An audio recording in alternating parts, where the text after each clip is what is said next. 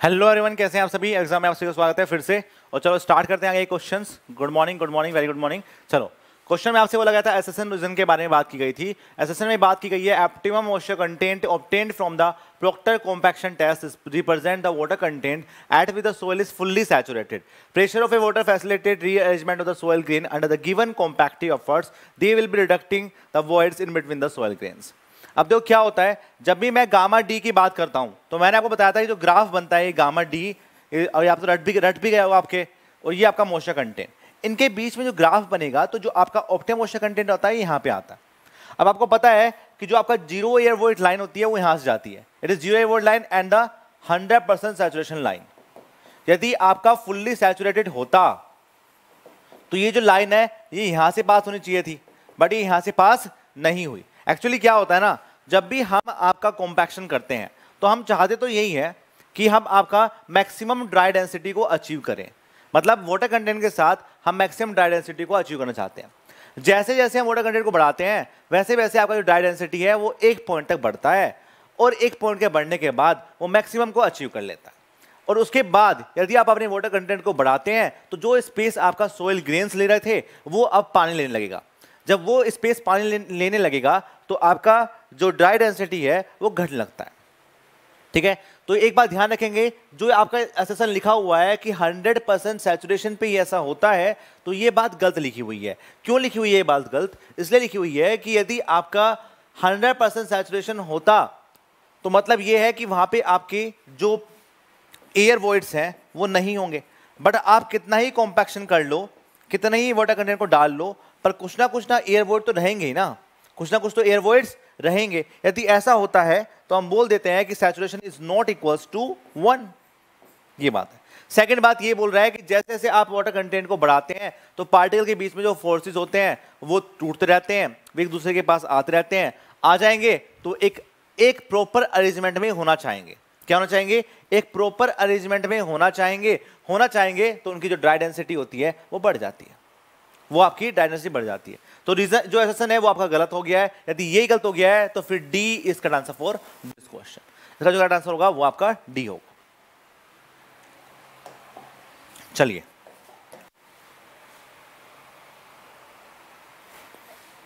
करिए इसको। ऑप्शन दिख नहीं रहा है।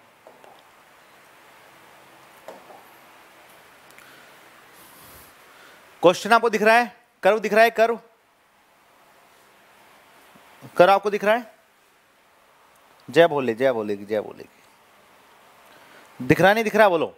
लिखा हुआ है आपका, कर B show the typical compaction curve for soil in the Proctor test dotted curve A is shown a superimposed superposed on the same graph. Which one of the following expression is corresponding to ordinate axis in the curve a?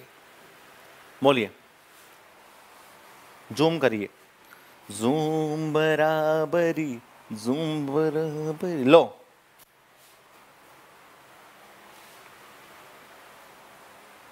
good morning ji good morning Shashi ji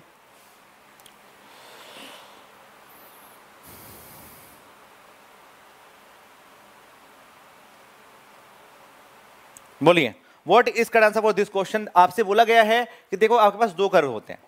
आपके पास दो curve थे। एक तो curve ये जा रहा है तो ये जो आपका कर्व है, ये तो किसका है? ये तो आपका प्रोक्टर का कर्व है। प्रोक्टर का कर्व है। प्रोक्टर टेस्ट का कर्व है। ठीक है? अब एक डोटेड लाइन आपकी, एक डोटेड लाइन आपकी ये भी जाती है। ये वाली जो लाइन जाती है। इस डोटेड लाइन पे यदि मैं बात करूँ तो ये जो डोटेड लाइन है, ये किसका किसका कर्व है? इसका जो ऑर्डिनेट्स होंगे, वो ऑर्डिनेट्स किसके होंगे? ये आपसे पूछा गया है क्वेश्चन में। ये आपसे पूछा गया है। ऑप्शन दिखाओ सर अच्छा जी ऑप्शन में देख लो। मैं छोटा कर रहा हूँ इसको। लो ऑप्शन देख लो। बोलिए।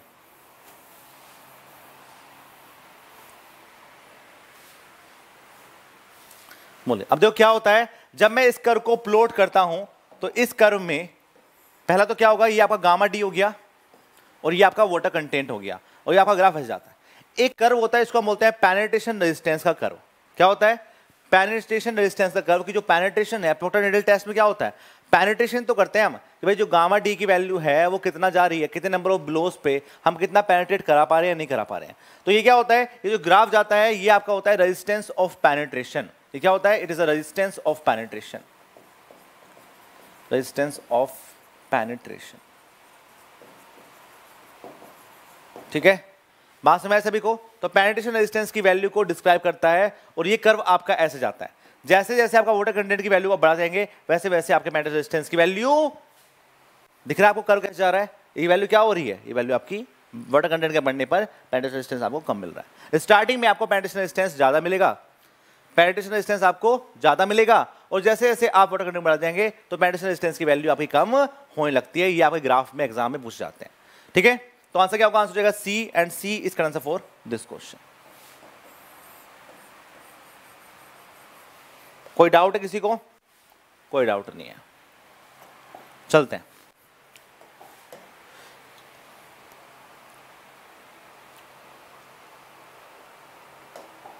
नेक्स्ट क्वेश्चन करेंगे।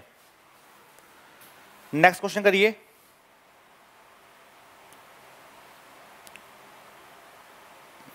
नो डाउट क्वेश्चन में आपसे बोला गया है standard Proctor compaction curve of a clay is describe in the figure इसको बोलता है डेप्टिक्ट मतलब describe in the figure point A B and C correspond to three compaction state of the soil which fall in the curve for which point of the coefficient of permeability is minimum इनमें से कौन सा आपका coefficient of permeability minimum है? एक बार question दिखा दें।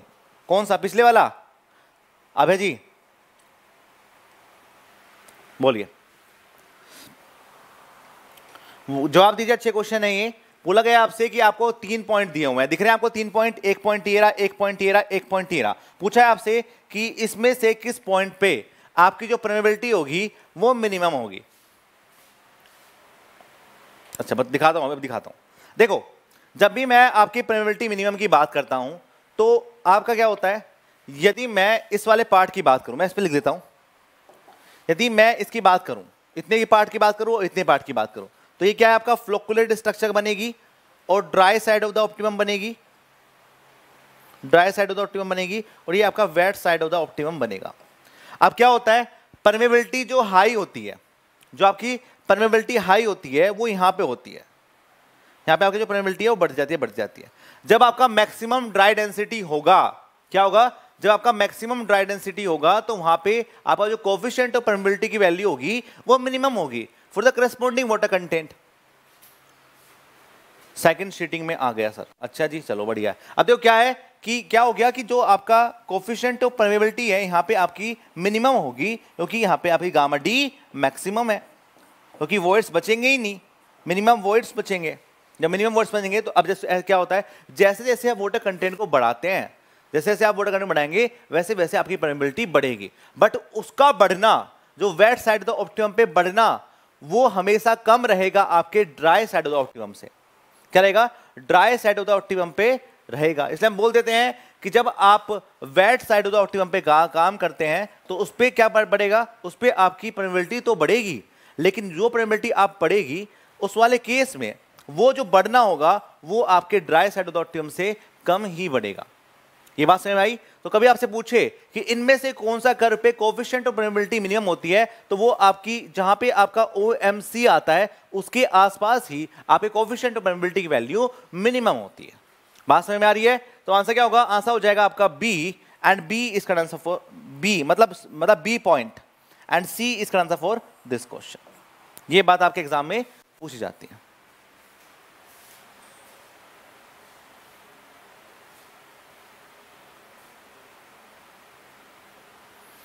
कोई बात नहीं, देख लो यार वीडियो बार बार हरे कृष्ण हरे कृष्ण।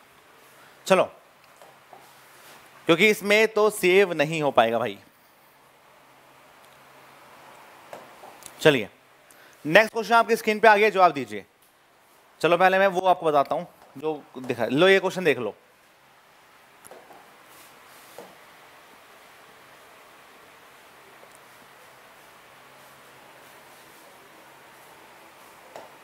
ये क्वेश्चन देख लो। जय श्री राम। बार बार तो देखना है भाई। बार बार तो देखना है। देखो यार फिगर अब मैं, वो तो लैपटॉप से बनती थी, अब ये बनती है इससे तो ये इस पर नहीं होगा सेव ऐसा ऐसा ही।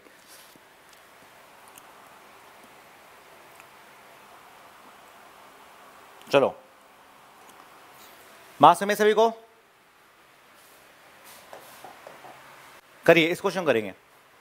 नेक्स्ट क्वेश्चन आपकी स्क्रीन पे आ गया है जो आप देंगे the statement is correct in the case of soil sample which the following statement is correct sample on the dry side optimum moisture content a given compacting offers. Permeability increase with increase in water content permeability does not alter, permeability decrease with increase in water content बोलिए। Dry side of the optimum पे बात करेंगे। यदि मैं dry side of the optimum पे बात करूँगा तो वो ड्राई साइड ऑफ़ ऑप्टिमम पे जैसे जैसे आप वाटर कंटेंट को बढ़ाएँगे। जैसे जैसे आप वोटर कंटेंट को बढ़ाएँगे वैसे वैसे आपका वैसे वैसे क्या होगा? वैसे वैसे जैसे जैसे आप वोटर कंटेंट बढ़ाएँगे वैसे वैसे आपकी प्रोबेबिलिटी डिक्रीज होगी।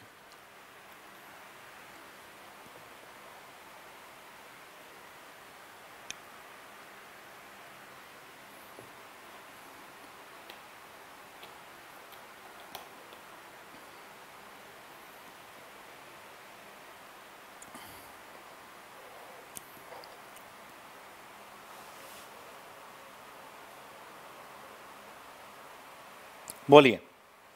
वॉट इज़ कर answer for this question which the following statement is correct in the case of soil sample dry soil optimum content permeability increases as a increase in the water content permeability decrease with increase in the water content initially decrease with increase in the water content जवाब दीजिए।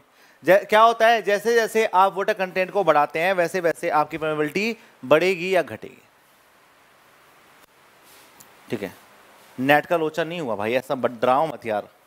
डराओ मत, हमारा सही चल रहा है अभी। ऐसे ना डराओ। अब देखो, मुझे एक बात बताओ। यदि मैं इस ग्राफ को बनाता हूँ तो यदि मेरा परमेबिलिटी बढ़ रहा है, यदि मेरा परमेबिलिटी बढ़ रहा है तो मैं कैसे कह सकता हूँ कि मेरा जो गामा डी है, यदि मेरा ये गामा डी है, और ये यदि मेरा वाटर कंटेंट है तो मैं कैसे कह दूँ कि यदि मेरा वाटर कंटेंट के बढ़ाने पर मेरा जो परमेबिलिटी है परमेबिलिटी है मेरा जो परमेबिलिटी है वो यदि बढ़ रहा है तो गामा डी कैसे बढ़ेगा? रे बाबा ये जो वाटर कंटेंट जो गामा डी है वो कैसे बढ़ेगा?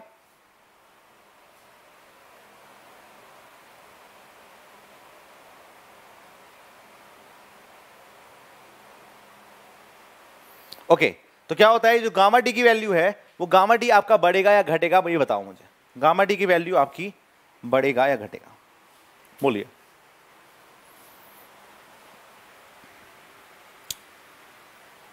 बोलो बोलो रे बोलो बोलो रे बोलो। अब अपने आंसर चेंज नहीं करेंगे। किसी ने अपने आंसर को चेंज किया?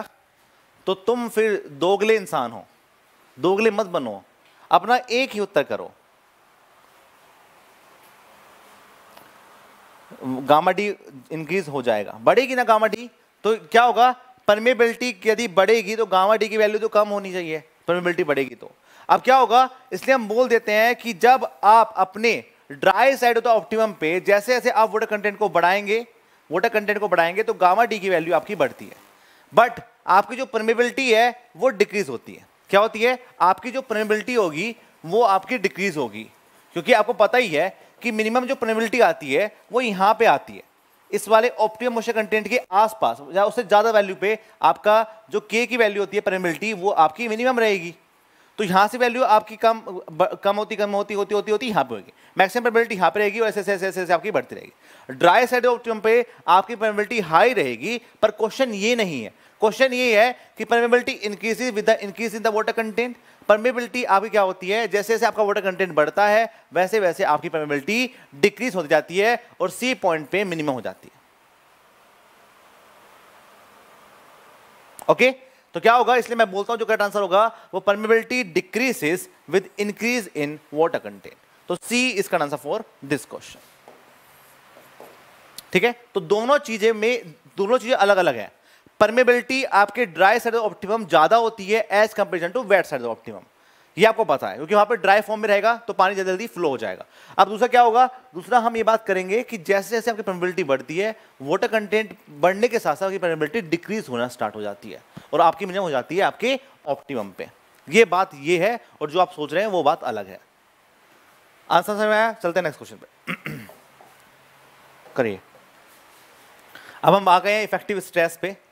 मैं बस आपको एक काम कर सकता हूँ, यदि आप चाहो तो। मैं सभी क्वेश्चन का सभी क्वेश्चन का जो आंसर सही है, उस पर टिक मार्क दे सकता हूँ। बस मैं इतना कर सकता हूँ। ठीक है? तो बस इतना कर सकता हूँ। और मेरे से सब कुछ मुझसे करवाओगे तो तुम क्या करोगे? निकम्मो। बस मैं अपने लैपटॉप में लेके जाऊँगा इसको राइट मार दूँगा जो क्या क्या आंसर है इनके। राइट आंसर किस किसके ठीक है? बोलिए। बोलिए what is current of this question a depth Z below the surface of a summer soil water pressure is gamma W into Z and it is stress cause by the water which is called a neutral stress reason the water pressure act equally in the all direction and transmit the same fully on grain grain to contact corresponding to compression in the soil बोलिए what is cut answer for this question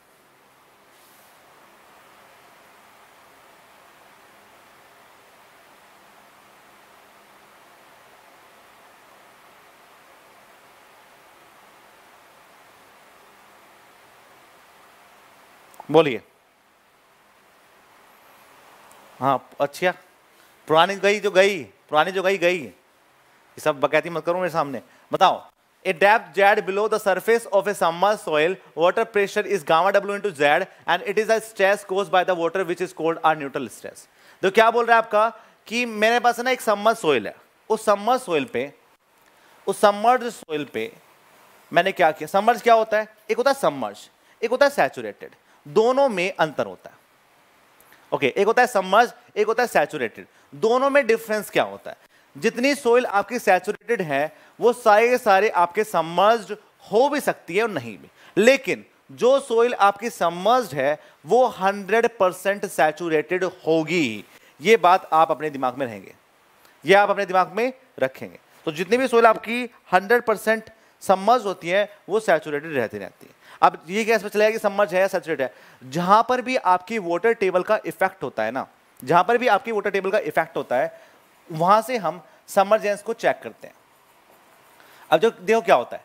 यदि water table यहाँ पे है, इसके ऊपर भी कुछ ना कुछ पार्ट में कैपलरी राइज होगा। कुछ ना कुछ पार्ट में आपका कैपलरी राइज होगा। अब वो कैपलरी राइज में जो सोयल रहेगी, वो आपकी सैचुरेटेड रहेगी, ना कि समर्ज रहेगी। वो आपकी सैचुरेटेड रहेगी, ना कि समझ रहेगी ये बात समझ में आ रही है आपको? अब देखो क्या बोल रहा है वो, कि मैंने एक जेड डेथ पे पोर वाटर प्रेशर को चेक किया। यदि मैंने जेड डेथ पे पोर वाटर प्रेशर को चेक किया तो हम पीजोमीटर को लगाते हैं यहाँ पे। पीजोमीटर पढ़ा आपने? मैंने इस पीजोमीटर को लगाया। पीजर पीजोमीटर में जहाँ तक पानी का लेवल बढ़ता है, जहाँ तक पानी का लेवल आता है, वही आपका पोर वाटर प्रेशर होता है। ये कहाँ तक लाई करेगा? ये वहाँ तक लाई करेगा जहाँ तक आपकी वोटर टेबल रहेगी। अब क्या है कि वोटर टेबल मान लो यहाँ तक है तो ये यहाँ तक लाई करा। अब मुझे यहाँ से निकालना है पोर वाटर प्रेशर तो ये आपका हो जाएगा गामा डब्लू इंटू जेड और इस गामा डब्लू इंटू जेड को हम न्यूट्रल प्रेशर बोलते हैं। ओके क्या होता है? उसको हम न्यूट्रल प्रेशर भी बोलते हैं। अब ये न्यूट्रल प्रेशर क्या है?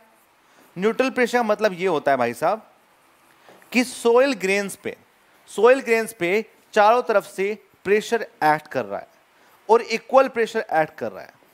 उसको हम बोलते हैं न्यूट्रल प्रेशर बट एक बात ध्यान रखेंगे, ये न्यूट्रल प्रेशर कभी भी आपके सोयल ग्रेन्स को कंप्रेस नहीं करता है। It is only act constant value it is act on the all periphery but it is not do the compression in the soil soil grains soil grains के अंदर ये कंप्रेशन कभी भी नहीं करता है।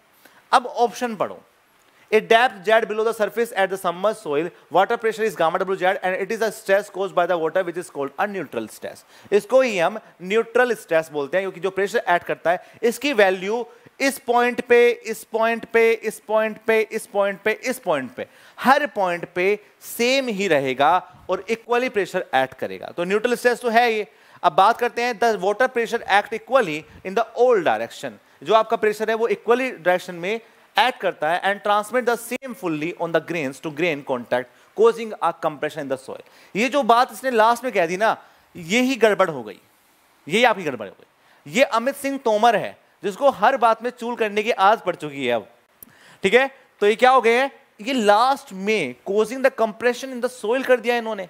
अब कंप्रेशन कर दिया है सोइल के अंदर तो ये बात गलत हो गई।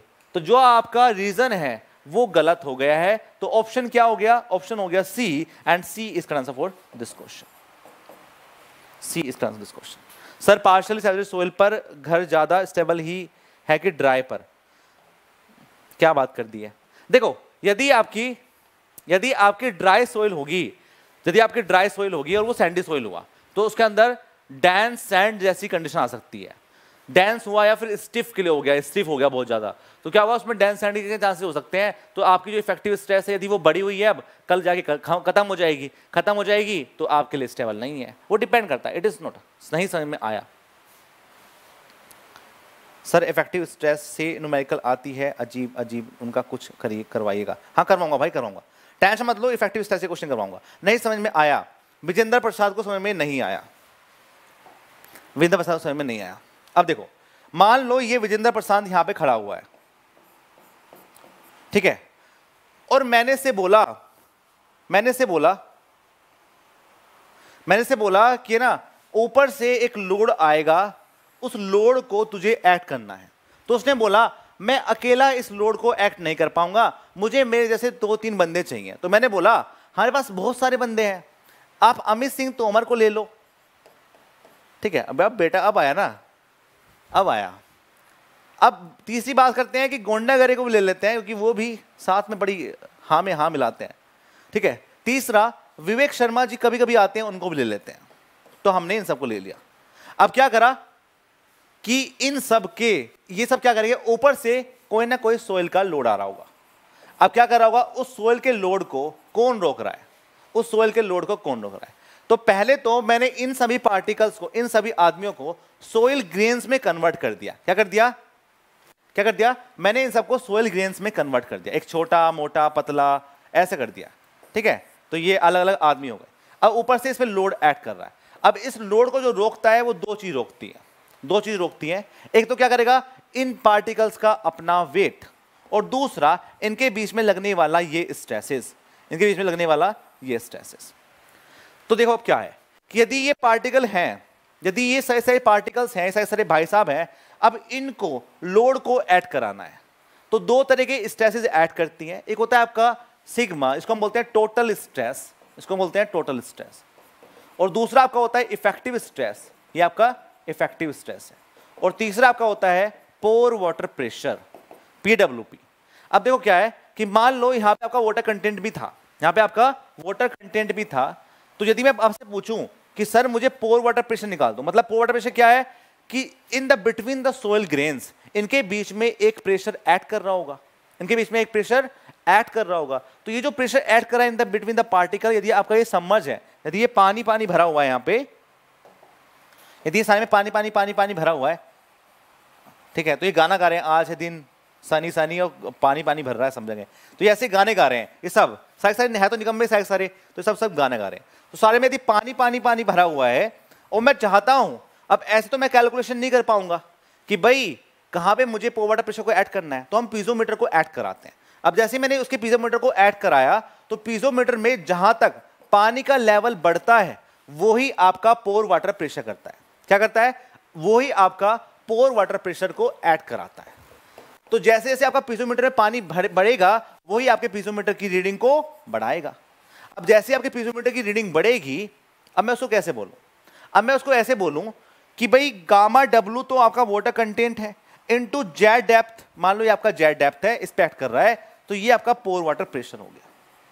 अब ये पोर वाटर प्रेशर एक्ट कैसे कर रहा होगा? जैसे इफ़ेक्टिव स्ट्रेस कैसे एक्ट करती है? इफ़ेक्टिव स्ट्रेस जैसे आपका टोटल स्ट्रेस है टोटल स्ट्रेस आपकी जो एक्ट करती है, वो ऐसे करती है कि भाई ऊपर से जितना भी लोड आ रहा है वो डिवाइडेड बाय द एरिया वो क्या होती है? वो आपका टोटल स्ट्रेस कर करिए कि ऊपर से चाहे वो पानी का लोड हो चाहे वो सोइल का लोड हो चाहे वो कोई एक्सटर्नल लोड कर रहा हो क्या कर रहा हो? चाहे वो कोई एक्सटर्नल लोड को ऐड करा रहा हो उसका ए, उसका total load divided by the area okay तो ये पी बाय ए हो जाता है इसको हम पी बाय ए कर देते हैं।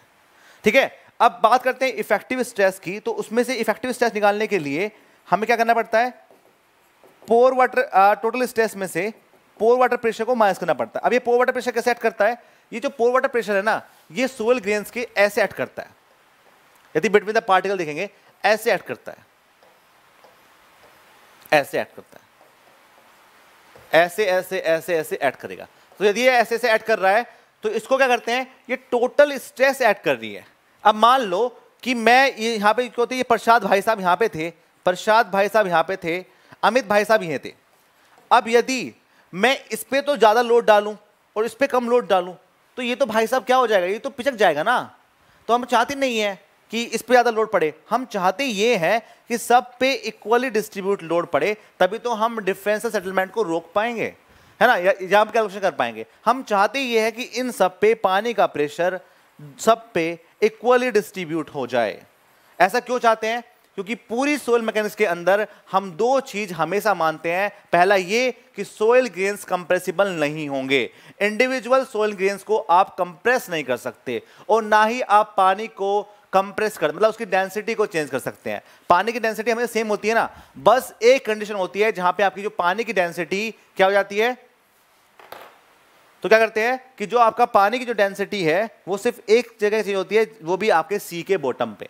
सी के बॉटम पे आपकी डेंसिटी ऑफ़ वाटर चेंज हो सकती है, नहीं तो हर केस में, पूरी सोन गैस में आप वाटर कंटेंट की वैल्यू को गामा डब्ल्यू तो मानते हैं। भाई, जो गामा डब्ल्यू की वैल्यू है, वो गामा डब्ल्यू हमेशा 9.81 क्यों होता है भाई? इसलिए तो होता है, क्योंकि वो उसकी जो डेंसिटी होती है, वो हर जगह हम सेम मानते हैं। ठीक है? यदि मैंने इसको कंप्रेसिबल मान लिया ना तो पार्टिकल के बीच में अलग से कैलकुलेशन करनी पड़ेगी। ओके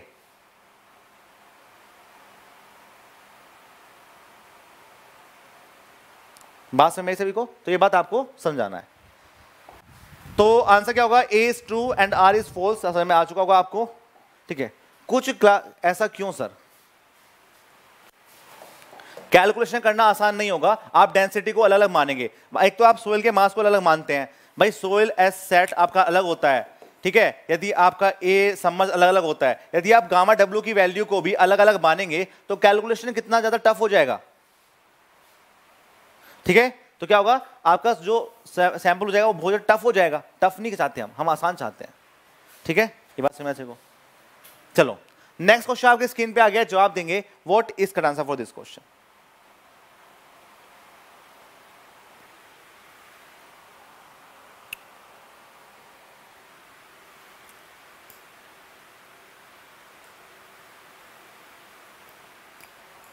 बोलिए।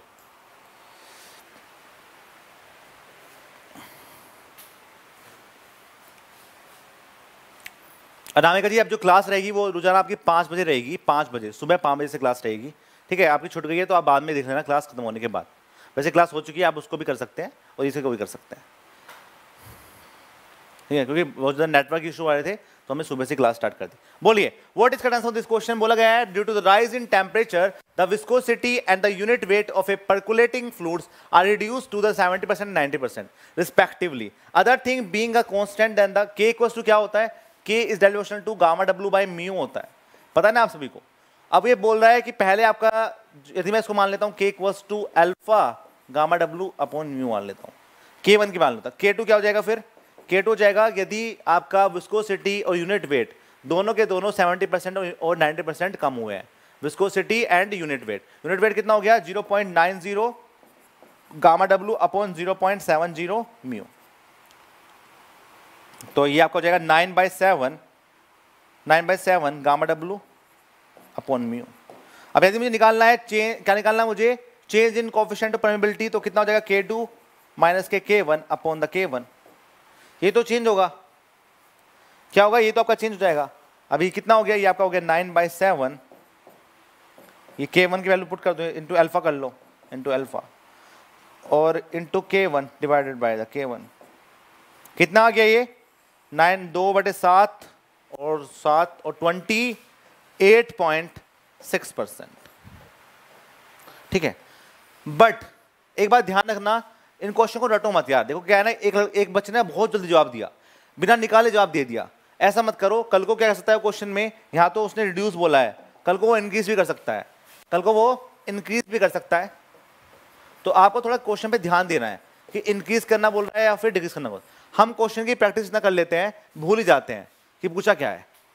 ठीक है, मुझे थोड़ा काम करना पड़ेगा मुझे, क्योंकि आप सबके क्वेश्चन रट चुके हैं। थोड़ा काम करना पड़ेगा मुझे जैसे कि आप थोड़ा क्वेश्चन गलत करो। चलो, अगली बार मिलेंगे बेटा टेंशन मत लो तुम। क्योंकि आप सब अब निकम्मे हो चुके हो क्वेश्चन के उत्तर तक याद हो गए हैं आपके। चाहे वो कुछ ही पूछ रहा हो, हम तो एक ही टिक कर देंगे।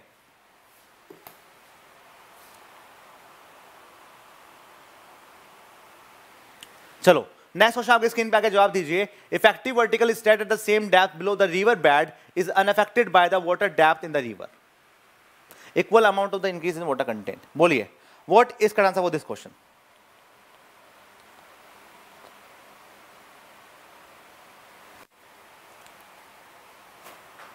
बोलिए effective vertical stress at the depth below a river bed is unaffected by the water depth in the river.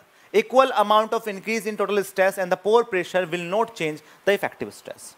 A answer बता रहे हैं। बड़ा ही सिंपल सा सवाल है ये। बड़ा ही सिंपल सा सवाल है। क्योंकि वो सिंपल सवाल है, मान लो कि मान लो ये आपका रिवर था। ये क्या था? ये आपका रिवर था। और इसके नीचे आपका सोइल होगा। इट इज़ सोइल पार्ट ये आपका नीचे सोइल पार्ट है।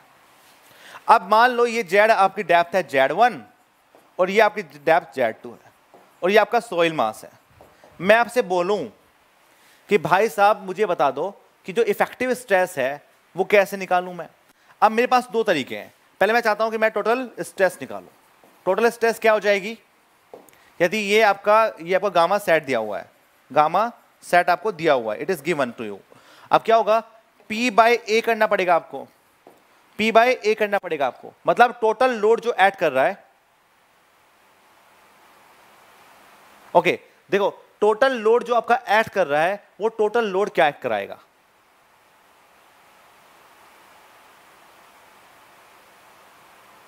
ओके okay, अब देखो क्या होगा? टोटल जो लोड ऐड करेगा उसको मैं इफ़ेक्टिव स्ट्रेस की मैं स्ट्रेस से बात करूँगा। तो टोटल स्ट्रेस यदि मैं ये ये पॉइंट लेता हूँ ए पॉइंट इस ए पॉइंट पे मैं टोटल स्ट्रेस को ऐड करना चाहता हूँ। तो ये टोटल स्टेट आपकी ऐड करेंगी वो कितना हो जाएगी? वो आपका हो जाएगी gamma W into Z plus K Z two कितना है? Z two into gamma sat. ये क्या हो गया? ये आपका टोटल स्ट्रेस हो गया। It is total stress total stress हो गया। अब मुझे चाहिए ओके okay, अब क्या होगा कि हम हम बात करेंगे सेकंड पॉइंट की बात करेंगे। सेकंड पॉइंट क्या है? सेकंड पॉइंट में इस वाले केस में जेड टू क्या होगा? जेड टू पे वाटर कंटेंट तो है ही। तो मैंने क्या किया? यहाँ पे आपका पीजोमीटर को ऐड कराया है। जैसे ही मैंने पीजोमीटर को ऐड कराया तो मुझे पो वाटर प्रेशर ऐड करना पड़ेगा। तो पो वाटर प्रेशर कितना हो जाएगा? पो वाटर प्रेशर आपका हो जाएगा Z one plus K Z two into gamma W अब मैं चाहता हूँ मुझे चाहिए इफ़ेक्टिव स्ट्रेस तो क्या हो जाएगा टोटल स्ट्रेस माइनस के पोर वाटर प्रेशर तो कितना हो गया? टोटल स्ट्रेस कितना है? Gamma W into Z plus K Z two into gamma sat minus K Z one into gamma W minus K Z two into gamma W ये इससे cut गया। अब जेड टू और Z two gamma sat minus gamma W क्या होता है? Gamma sat gamma sat gamma submerged ये क्या हो गया? ये आपका हो गया गामा, ये आपका हो जाएगा Z two into gamma submerged अब मुझे एक बार बताओ, अब मुझे एक बार बताओ कि यदि ये वाला पार्ट होता ही नहीं, यदि ये वाला पार्ट होता ही नहीं, रिवर वाला पार्ट होता ही नहीं, और मैंने यहाँ पे आपका वोटर टेबल को लगा दिया उस वाले केस में कितना होता? उस वाले केस में कितना होता? उस वाले केस में क्या हो जाएगी? टोटल स्ट्रेस की वैल्यू हो जाएगी gamma sat into Z two और पो वाटर प्रेशर हो जाएगा Z two into gamma W effective stress क्या हो जाएगी? गामा सबमर्स्ड इंटू जेड तो बताओ, ऊपर रिवर हो या पूरा सी ही हमने कर दिया हो, या हम खुद ही बैठ गए हो पानी लेके? क्या उसका कोई इफ़ेक्ट पड़ेगा इफ़ेक्टिव स्ट्रेस पे? तो इफ़ेक्टिव स्ट्रेस पे उसका घंटा फ़र्क नहीं पड़ता इस चीज़ का कि भाई कितना आपके ऊपर पानी आ रहा है। बात समझ में आ रही है? आपको पूरी क्लियरिटी हो गई है, कुछ समझाने की बात नहीं है इसमें। तो अब क्वेश्चन पढ़िए। Effective vertical stress at the same depth below a river bed is unaffected by the water depth in the river. Equal amount of increase in total stress and the water pressure. जितना आपका stress gamma W into Z में water content पड़ा, क्या पड़ा? जितना आपका effect आपके total stress पे पड़ा गामा डब्ल्यू इंटू जेड उतना ही स्ट्रेस आपके इस वाले पोर्शन पे पड़ गया। तो जितना ये बड़ा उतना ये बड़ा अब दोनों माइनस करेंगे तो घट जाएगा और इफ़ेक्टिव स्ट्रेस आपकी अनअफेक्टेड रह जाएगी। तो effective stress is not change बिल्कुल सही बात है। तो A and R both are correct and the R is give the correct explanation of A तो आंसर क्या हो जाएगा? आंसर जाएगा ए और A is correct answer for this question बात समझ में आई सभी के? किसी को कोई डाउट है तो पूछ सकता है अभी। वरना जय भोले की चलते आगे।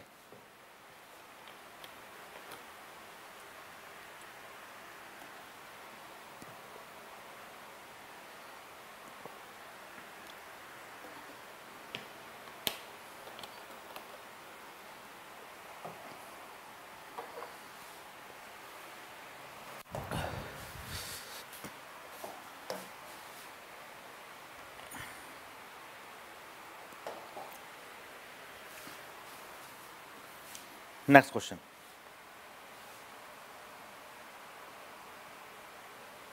नेक्स्ट क्वेश्चन करेंगे, जवाब दीजिए।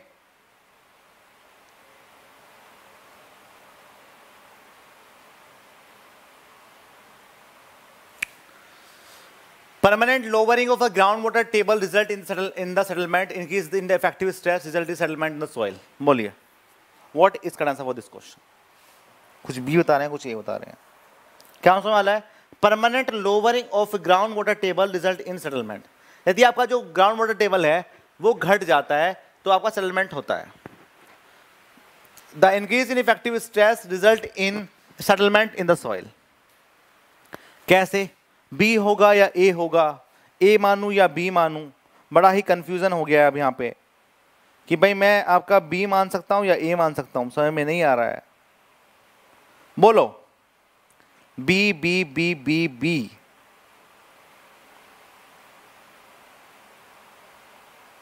अब देखो permanent lowering of the ground water table result in the settlement तो देखो क्या होता है। यदि मेरे पास, मैं आपको एक एग्जांपल देखिए बताता हूँ, जिससे कि आपको क्लियरिटी देगी। मान लो मेरा ग्राउंड वाटर टेबल पहले यहाँ पे था। ओके, और मैंने यहाँ पे जेड डेथ पे जेड वन डेथ पे, और ए पॉइंट पे इफ़ेक्टिव स्ट्रेस को कैलकुलेट किया। इफ़ेक्टिव स्ट्रेस को कैलकुलेट किया। अब क्या हुआ कि जैसे ही मैंने इफ़ेक्टिव स्ट्रेस को कैलकुलेट किया तो मेरी जो इफ़ेक्टिव स्ट्रेस है, वो बढ़ेगी या घटेगी? निकालो इसको। देखो, मैं यदि बात करता हूँ इफ़ेक्टिव स्ट्रेस की तो टोटल स्ट्रेस माइनस के पो वाटर प्रेशर होगा।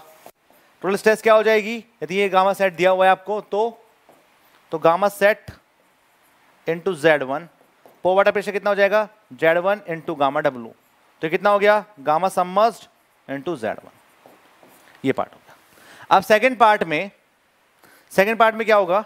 सेकेंड पार्ट में हम ऐसा लिखते हैं कि मैंने यहाँ पे कर दिया है। मेरा जो water table ground water table है, वो यहाँ पे आ गई है। अब ये जो पार्ट रहेगा, ये मान लो, ये आपका था Z minus K Z one ठीक है? और ये आपका गामा सेट ही हो गया। अब इस वाले केस में जो इफ़ेक्टिव स्ट्रेस रहेगी आपकी, वो क्या हो जाएगी? Z minus K Z one into gamma sat plus K ये ये पूरा जेड था। अच्छा। इसको कुछ और मान लो फिर। ऐसे ऐसे। इसको मैं मान लेता हूँ कि ये मेरा जेड, ये मेरा जेड है। ठीक है? मेरा जेड है। तो क्या हो गया? ये जेड इंटू गामा सेट हो गया। It is it is Z into gamma sat plus K Z minus K, Z one minus K Z into gamma sat. Minus K pore water pressure कितना होगा? पोवाटर प्रेशर जो add करेगा, वो आपके ground water table तक add करेगा। तो यहाँ तक ऐड करेगा वो। तो यदि वो यहाँ तक ऐड कर रहा है तो माइनस के कितना हो जाएगा? वो आपका हो जाएगा Z one minus K Z into gamma W ये। अब बात आती है इफ़ेक्टिव स्ट्रेस की value good morning ji. Effective stress की वैल्यू ये ज़्यादा आएगी या फिर ये ज़्यादा आएगी? ऑब्वियसली वैल्यू ये ज़्यादा आएगी क्योंकि तो हम क्या चाहते हैं? जैसे जैसे आपका वोटर टेबल नीचे जाता है, वैसे वैसे आपका इफ़ेक्टिव स्ट्रेस की वैल्यू बढ़ जाती है। ये नॉर्मल कंडीशन क्यों होती है? क्योंकि पो वाटर प्रेशर की वैल्यू उतना ही कम हो जाती है। पहले पो वाटर की प्रेशर की वैल्यू इतनी थी, अब पो वाटर प्रेशर की वैल्यू इतनी हो गई मतलब पो वाटर प्रेशर की वैल्यू कम हो रही है तो इफ़ेक्टिव स्ट्रेस की वैल्यू बढ़ने लगती है। अब बात कर रहा है वो ये बात कर रहा है कि permanent settlement of the lower in the ground water table result in the settlement तो क्या करता है? जैसे जैसे आपका ग्राउंड वाटर टेबल लोअर करता है, वैसे वैसे आपका सेटलमेंट होने लगता है। सेटलमेंट अलग क्राइटेरिया है। इफ़ेक्टिव स्ट्रेस का बढ़ना अलग क्राइटेरिया है। इफ़ेक्टिव स्ट्रेस का बढ़ना अलग क्राइटेरिया है। इफ़ेक्टिव स्ट्रेस के बढ़ने से तो पार्टिकल टू पार्टिकल जो कांटेक्ट है जैसे जैसे पार्टिकल टू पार्टिकल कॉन्टैक्ट है, वो बढ़ जाता है। जैसे जैसे पार्टिकल पार्टिकल कांटेक्ट बढ़ जाएगा तो वो डेंस फॉर्म में आ जाएँगे। डेंस फॉर्म में आ जाएँगे तो सेटलमेंट तो होना ही है। सेटलमेंट तो होना ही है। सेटलमेंट तो होना ही है। अब बात कर रहा है increase in the effective stress result in settlement in the soil permanent lowering the ground water table in settlement कहीं भी इसमें बात की गई है परमानेंट लोअर टेबल में, कि आपका इफ़ेक्टिव स्ट्रेस बढ़ रहा है, घट रहा है, नहीं की गई है। लेकिन रीजन में बात की गई है इफ़ेक्टिव स्ट्रेस के बढ़ने और घटने की। मतलब दोनों स्टेटमेंट तो सही है कि इफ़ेक्टिव स्ट्रेस पे इसका फ़र्क पड़ेगा but it is not a correct explanation of reason तो रीजन क्या है? रीजन आपका करेक्ट एक्सप्लेनेशन नहीं है, आपके एसएसएन का, क्योंकि वो आपको बता नहीं रहा है कि जो permanent lower in the ground table हुआ, उसके सेटलमेंट हुआ। पर इफ़ेक्टिव स्ट्रेस के बढ़ने और घटने के बारे में वो बता नहीं रहा है मुझे। जब तक वो कहेगा नहीं, तब तक हम मानेंगे नहीं। तो आंसर क्या होगा? आंसर हो जाएगा बी और बी इसका आंसर फॉर दिस क्वेश्चन ठीक है? ये बात ध्यान रखें। तो जो आर है वो आपको ए को एक्सप्लेन नहीं कर रहा है। आर ये बोल रहा है कि इफ़ेक्टिव स्ट्रेस बढ़ती है सेटलमेंट होता है बट कहीं भी ये बोले इसने इफ़ेक्टिव स्ट्रेस जो बढ़ रहा है घट रहा है वो ग्राउंड वाटर टेबल के, के बढ़ने से बढ़ रहा है घट रहा है ये तो नहीं बोला। नहीं बोला है तो रीजन जो असेसन है वो नहीं है। ठीक है? चलो आगे चलते हैं नेक्स्ट इसे करेंगे। नेक्स्ट क्वेश्चन करेंगे। नेक्स्ट करिए।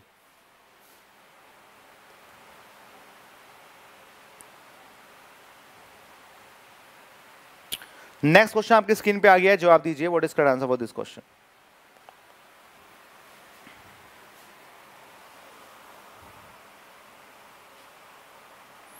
आ गई बात समझ में सभी को? कोई जवाब ही नहीं दे रहा, सब। इफ़ेक्टिव स्ट्रेस इंक्रीज होगी तभी तो सेटलमेंट होगा ना। देखो इफ़ेक्टिव स्ट्रेस इंक्रीज होगी तो सेटलमेंट होगा या नहीं होगा? दो तरह के सेटलमेंट होते हैं आपके। दो तरह के सेटलमेंट होंगे। इमीडिएट भी हो सकते हैं और आपके टेम्परेरी इमीडिएट भी हो सकते हैं और टाइम रेट ऑफ़ कंसल्टेशन भी हो सकते हैं। इमीडिएट सेटलमेंट में क्या होता है कि जो एयर होती है वो रिमूव हो जाती है। सेटलमेंट क्या होता है? जब मैं बात करूँगा आपके टाइम रेट पे, उसमें आपका क्या होता है? आपका जो पो वाटर प्रेशर है वो कम हो जाता है। इफ़ेक्टिव स्ट्रेस जो बढ़ती इफ़ेक्टिव स्ट्रेस बढ़ने से सेटलमेंट बढ़ता है, इस इज़ अ करेक्ट बट वो सेंटेंस में बोल नहीं रहा ना कि किसकी वजह से हो रही है।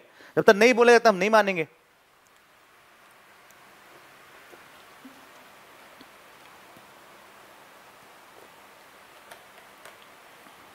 बोलिए। जब तक वो बोलेगा नहीं कि आपकी जो इफ़ेक्टिव स्ट्रेस है वो देखो इफ़ेक्टिव स्ट्रेस बहुत तरह से बढ़ जाती है। इफ़ेक्टिव स्ट्रेस बढ़ने का तरीका बताऊँ मैं तुम दिखाऊँ मैं तुम्हें। देखो। इफ़ेक्टिव स्ट्रेस देखो कैसे बढ़ा, बढ़ाता हूँ मैं। देखो इफ़ेक्टिव स्ट्रेस क्या है मेरे पास? टोटल स्ट्रेस माइनस के पो वाटर प्रेशर है। अब मान लो आपका जो पो वाटर प्रेशर है ना पो वाटर प्रेशर है, वो नेगेटिव हो गया। तो जैसे आपका पो वाटर प्रेशर नेगेटिव हो जाएगा तो इफ़ेक्टिव स्ट्रेस क्या होगी? सिग्मा प्लस की यू हो जाएगी। अब भी तो बढ़ गई इफ़ेक्टिव स्ट्रेस ये कब होता है? जब आपका कैपलरी राइस होता है। कैपलरी राइस केस में। कैपलरी राइस केस में। अब भी तो बढ़ गई इफ़ेक्टिव स्ट्रेस अब भी तो आपकी इफ़ेक्टिव स्ट्रेस बढ़ गई। तो ये आप कैसे बोलोगे कि इफ़ेक्टिव स्ट्रेस बढ़े वाटर टेबल के इफ़ेक्ट बढ़ रही है, नहीं बढ़ रही है? तो तरीका कई हो सकते हैं। आपको बस करना है कि सही क्या है, और गलत क्या है, इस पर डिपेंड करना है। ठीक है? सबसे ज़्यादा जो कन्फ्यूज़न होते हैं वो ए और बी में होते हैं। तो आपको ध्यान रखना है कि जब भी आप रीजन को पढ़ो, वो आपके एसेसन की फीलिंग देना चाहिए। यदि वो ए एसेसन की फीलिंग नहीं दे रहा है तो आंसर वो नहीं होगा फिर। अब देखो क्या होता है? Installation of a sand drains in clay मान लो आपका क्ले सोइल है, ये आपकी क्ले सोइल है। इस क्ले सोइल पे आप क्या करते हैं? कॉर्नर पे सैंड ड्रेन्स लगा देते हैं। तो क्या करेगा? जो आपका एक्स्ट्रा पानी होगा उस पानी को बाहर निकाल देते हैं। उस पानी को बाहर निकाल देते हैं। ओके okay, अब देखो क्या होगा? जैसे ही आप क्या करेंगे? पानी को बाहर निकाल देंगे तो उससे क्या होता है? उससे यहाँ का जो आसपास का जो सोइल है ना ये वाला पार्ट जो सोइल का है ये वाला पार्ट और ये वाला पार्ट ये वाला जो पार्ट होता है सोइल का वो आपका रिमोल्डेड हो जाता है। ये वाला पार्ट आपका रिमोल्ड हो जाएगा। ये वाला पार्ट आपका रिमोल्ड हो जाता है। जब ये वाला पार्ट आपका रिमोल्ड हो जाता है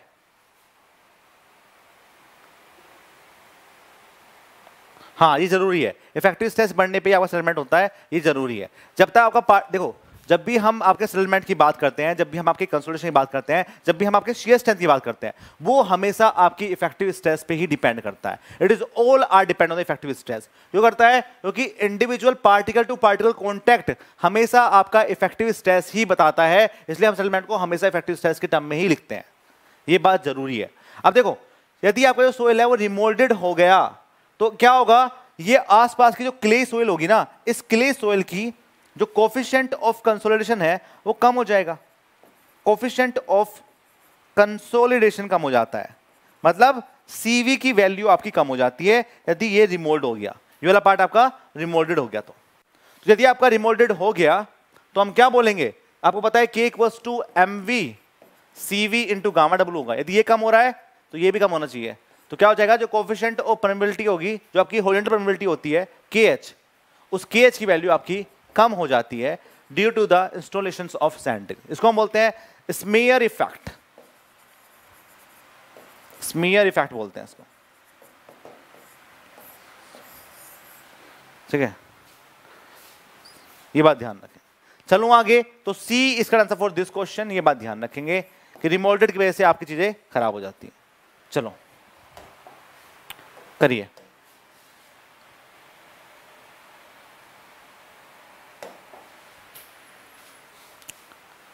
हाँ। वही होता है आ, सगुन त्यागी जी क्या हो गया तुम्हें? बुखार हो गया देख के से? अच्छा जी।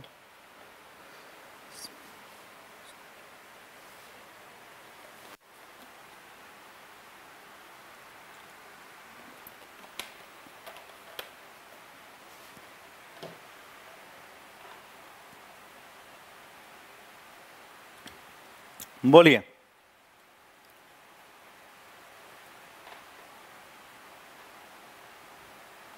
What is current answer this question जो आप देंगे।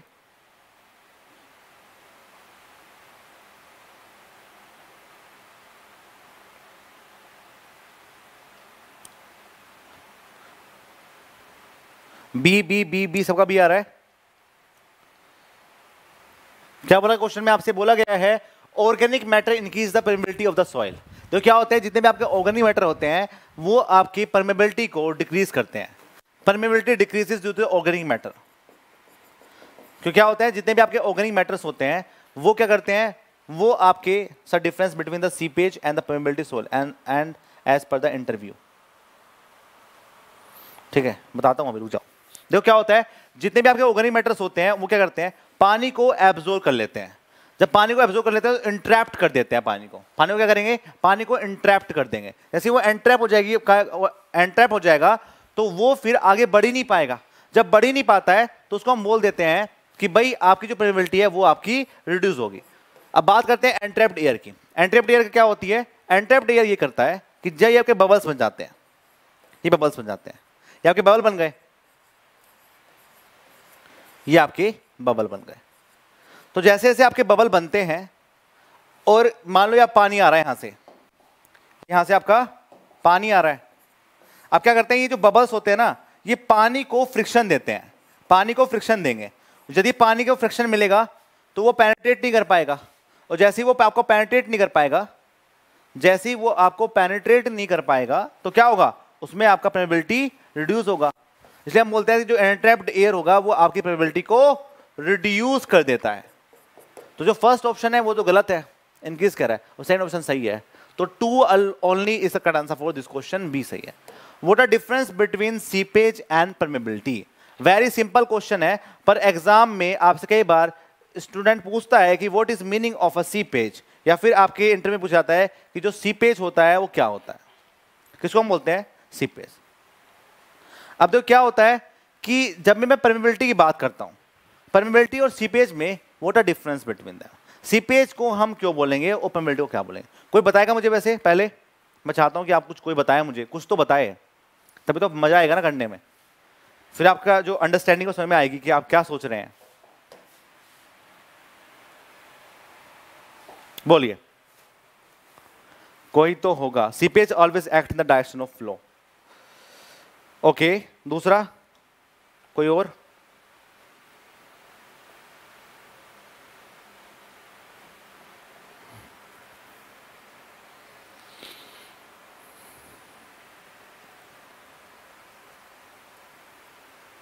सीपेज टू श्योर अब फेस पर होता है। और परमेबिलिटी तो सोइल में होता है। सीपेज तो श्योर फेस पर होता है। फेस पर मतलब सीपेज फ्लो अंडर प्रेशर हाँ। सही बहुत बोलिए देखो क्या होता है। सीपेज मतलब क्या होता है? जब मैं डैम की बात करता हूँ, जिस डायरेक्शन में आपका पानी फ्लो कर रहा है, जिस डायरेक्शन में आपका जो मान लो ये डैम है, ये डैम का केस है वो पानी आपका फ्लो ऐसे कर रहा है, ऐसे फ्लो कर रहा है पानी तो क्या होगा?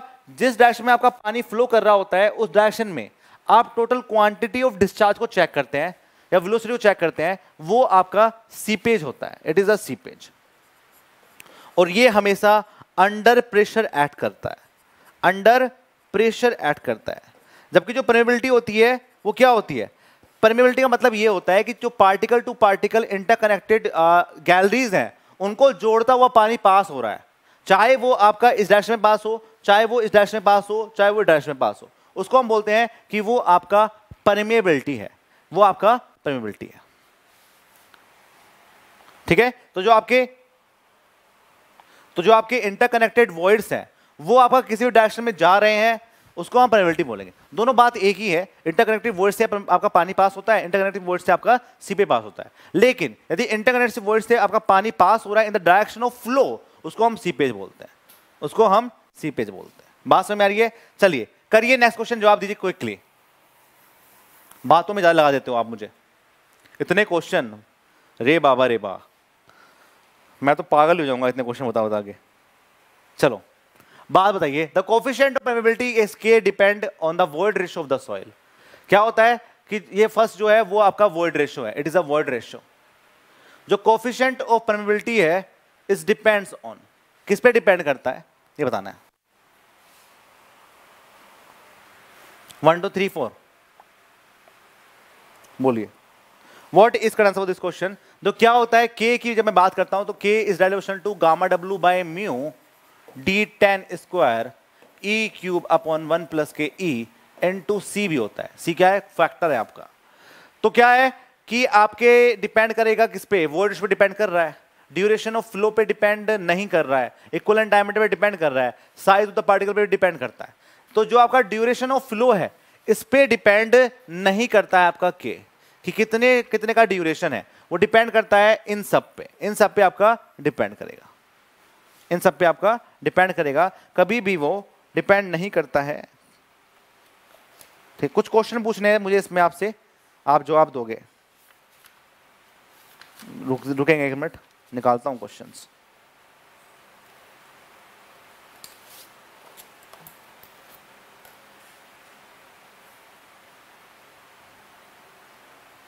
ओके. पहला क्वेश्चन ये होगा। पहला क्वेश्चन ये मैं आपको बताना चाहता हूँ कि डिग्री ऑफ़ सैचुरेशन पे क्या इफ़ेक्ट पड़ेगा? यदि आपका डिग्री ऑफ़ सैचुरेशन बढ़ रहा है degree of saturation is increases the coefficient of permeability increases और डिक्रीजेज इज़ इंक्रीजेज और डिक्रीजेज बोल रहा है आपका, यदि आपका जो एस है उस एस की वैल्यू बढ़ती है और घटती है। यदि बढ़ रही है तो आपका जो कोफिशियंट ऑफ़ परमेबिलिटी है, वो बढ़ेगा या घटेगा? ये पूछा गया है। बढ़ेगा या घटेगा? इंक्रीजेस इंक्रीजेस इंक्रीजेस इंक्रीजेस बता दिया है शायद मैंने आपको पहले। ठीक है? तो क्या होता है? बढ़ जाती है। जैसे जैसे आपका का एस बढ़ता है तो क्या होगा? जो आपके इंटरकनेक्टेड वर्ड्स होंगे, उनमें एयर नहीं रहेगा। और जब एयर नहीं रहेगा तो वो आपके के को रेजिस्टेंस नहीं दे पाएँगे। जब ये के को रेजिस्टेंस नहीं दे पाते हैं तो आपका जो के की वैल्यू है, वो बढ़ जाती है। ये आपके एग्ज़ाम में कई बार पूछा गया है। याद रखेंगे इट इज़ न्यू ओके आपने बताया था। यस सर बताया था आपने। हाँ तभी तो बता पा रहे हो आप। नहीं तो गलती करते। हमको पता है। और एक और क्वेश्चन है। एक और है, आपका kinematic viscosity K is directly proportional और the inversely proportional to coefficient of viscosity जो गामा होता है, उसके आपके डायल प्रोपोर्शनल होगा या फिर इनवर्सली प्रोपोर्शनल होगा।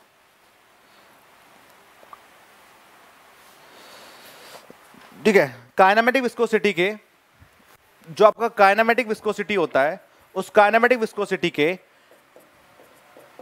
डायरेक्टली प्रोपोर्शनल होगा या फिर आपका इनवर्सली प्रोपोर्शनल होगा? बोलिए। इनवर्सली इनवर्सली क्यों भाई? वैसे भी आप ध्यान दे सकते हैं, ठीक है?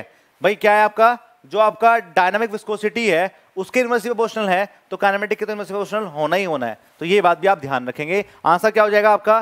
दो तो गलत है तो ये भी गलत, ये भी गलत। आंसर हो गया सी और सी इसका आंसर फॉर दिस क्वेश्चन चलते हैं नेक्स्ट क्वेश्चन पे।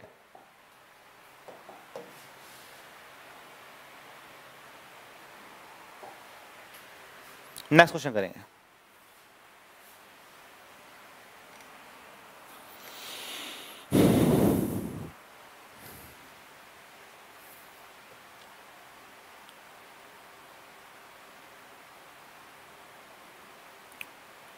नेक्स्ट क्वेश्चन आपकी स्क्रीन पे आ गया है, जवाब दीजिए। बोला गया आपसे the coefficient of permeability of a underground stratum is 0. Point metre पर second discharge obtained from the well area is 20 metre square dug into the stratum down draw down आपको दिया हुआ है 2 मीटर ये क्या क्वेश्चन हुआ?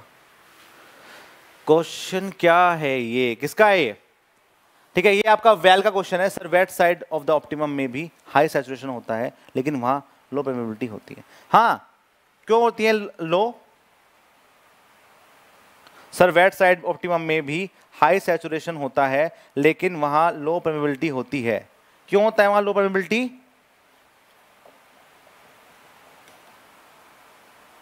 क्योंकि देखो, आपका है ना, आपका ने क्या किया? कॉम्पैक्टिव एफर्ट्स को बढ़ा दिया है। जैसे जैसे आप कॉम्पैक्टिव एफर्ट्स को बढ़ा देते हैं, जैसे जैसे आप कॉम्पैक्टिव एफर्ट्स को बढ़ा देते हैं तो जो आपकी स्ट्रक्चर पहले फ्लोकुलेट स्ट्रक्चर थी वो आप कन्वर्ट हो गई है डिस्पर्स पार्टिकल्स में। इसमें आपका फेस टू फेस ओरिएंटेशन हो जाता है। जब भी आपका फेस टू फेस ओरिएंटेशन हो जाता है तो इसकी जो परमेबिलिटी होती है, वो कम हो जाती है। परमेबिलिटी आपकी कम हो जाती है। बता बताया था मैंने आपको it is depends on the gradation किस टाइप का आपका ग्रेडेशन हो जाता है? तो वेट साइड में जो आपका पहले स्ट्रक्चर आपकी फ्लोक थी, वो बाद में डिस्पर्स में कन्वर्ट हो गई। जब डिस्पर्स में कन्वर्ट हो गई तो क्या हो जाएगा, जब डिस्टेंस में कन्वर्ट हो जाती है तो उस वाले केस में पार्टिकल टू पार्टिकल का जो का ग्रेडेशन है, वो आपका ऐसा बन जाता है कि वो परमेबिलिटी को होने नहीं देता इसलिए हम बोलते हैं ऐसा। चलो, बताइए मुझे इज़ करना था this question coefficient of permeability of an underground stratum आपको दिया हुआ है। मतलब क्या दिया हुआ है? के की वैल्यू आपको दी हुई है। कितना दिया हुआ है? 0.001 मीटर पर सेकेंड ये आपको दिया हुआ है। Discharge obtained from the well area A आपको दिया हुआ है 20 metre square and the draw down आपको दिया हुआ है एस की वैल्यू आपको दी हुई है टू मीटर अब क्वेश्चन ये समय नहीं आ रहा. ओके क्वेश्चन ये समय नहीं आ रहा मुझे कि इसमें इसमें क्या पूछा है? इसमें आपसे, ये आपका कन्फाइंड एक्कीफर की बात कर रहा है? कन्फाइंड की बात कर रहा है या फिर अनकन्फाइंड की बात कर रहा है? कैसे पता करूँ?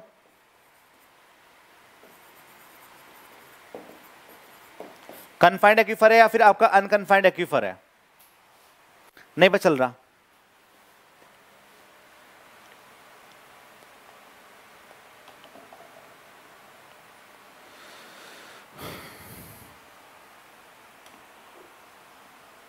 बोलो। कैसे करूँ? जल्दी बोलो। क्विकली क्विकली बोलो रे भैया। नहीं समझ में आ रहा है। हम क्या माने? अब मैं इसको मानता हूँ कि एक मेरा कन्फाइंड एक्यूफर है। It is my confined aquifer तो कन्फाइंड एक्यूफर है तो के की वैल्यू निकालनी पड़ेगी आपको। तो two pi K H L N R by R W Q equals to Q equals to ये होता है फॉर्मूला अनकन्फाइंड मानकर रेडियस ऑफ़ इन्फ्लुएंस से निकल के पता करेंगे। अच्छा रेडियस इन्फ्लुएंस निकालो। क्या होगी radius influence R equals to क्या होती है? Three thousand K under root S ये होता है फॉर्मूला बताइए। कन्फाइंड से करूँ या अनकन्फाइंड से करूँ? जल्दी जल्दी बोलो। मुझे नहीं समझ में आ रहा मैं किससे करूँ?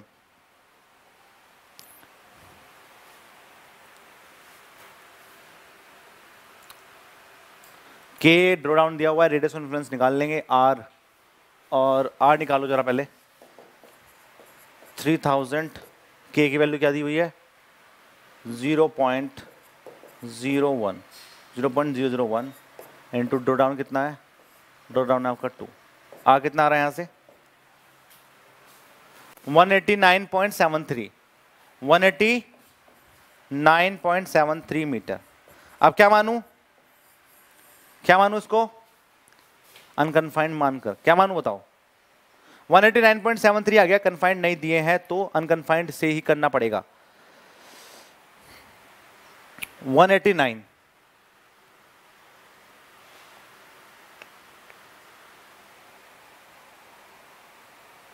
सी सी सी अनकन्फाइंड मांग करेंगे। कितना वैल्यू होता है कन्फाइंड में? अनकन्फाइंड अनकन्फाइंड अनकन्फाइंड यदि अनकन्फाइंड रहेगा तो कॉन्स्टेंट की वैल्यू को हम डिस्क्राइब नहीं कर पाएँगे। तो फॉर्मूला कौन सा लगेगा फिर?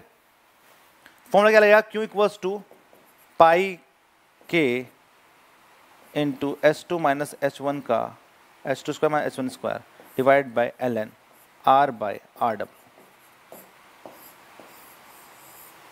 ये फॉर्मूला लगाएँगे अनकन्फाइंड मांग करेंगे। अब मैं आपका ये फॉर्मूला लगाऊँगा pi K H two square minus K H square divide by L upon R minus K R W actually ये क्वेश्चन जब उन्होंने दिया था, है ना? अब जब उन्होंने ये क्वेश्चन दिया था तो इस क्वेश्चन में उन्होंने ना तो मुझे ड्रो डाउन की जो वैल्यू दी हुई है एच टू दी हुई है सिर्फ़। ना तो मुझे एच वन दिया हुआ है, ना मुझे रेडियस ऑफ़ वॉल दिया हुआ है। रेडियस ऑफ़ वॉल मैं एक बार को निकाल भी सकता हूँ इससे ट्वेंटी मीटर स्क्वायर से। ट्वेंटी मीटर स्क्वायर से मैं आपका रेडियस ऑफ़ वॉल निकाल सकता हूँ कि मैंने आपका पाई आर स्क्वायर करके इक्वल्स टू ट्वेंटी कर लिया। अब यहाँ से आप आर कर लो तो one upon pi into twenty और अंडर रूट कर लो तो वहाँ से आप रेडियस ऑफ़ वॉल तो निकाल सकते हैं। बट ये जो हाँ। बट ये जो चीज़ें हैं, ये जो चीज़ें हैं, क्या ये मैं बिना के से ये कर सकता हूँ क्या? Pi K S two my square minus S one square नहीं कर पाएँगे, क्योंकि एस टू भी नहीं पता मुझे। ड्रो डाउन दिया हुआ है सिर्फ़ टू मीटर का। अब मैं क्या मानू स्टार्टिंग में ड्रो डाउन कितना था मेरे पास? ज़ीरो मानू क्या? ज़ीरो मानू? नहीं मानना पड़ेगा। तो मैं इस क्वेश्चन को नहीं करूँगा, क्योंकि इसका आंसर दिया ही नहीं उन्होंने। इसका कोई आंसर ही नहीं दिया उन्होंने। इस पर स्टार मार्क लगा दिया। स्टार मार्क लगा दिया इस पर क्योंकि ये आपका बिना, ना तो बिना कैलकुलेटर के होगा और वैल्यूज़ भी नहीं दी हुई है। आपका जो ड्रॉ डाउन है, वो कितने से कितना हुआ, वो भी आपको नहीं दिया हुआ है। तो इस क्वेश्चन को मैं यहीं पे ही छोड़ देता हूँ। बस जो काम की चीज़ है, वो आपको फॉर्मूला पता होना चाहिए और साथ में जो रेडियस इन्फ्लुएंस की वैल्यू है, वो कितने से कितनी होती है, उसके लिए मैं कौन सा कन्फाइंड मानूँगा अनकन्फाइंड मानूँगा, ये आपको पता होना चाहिए।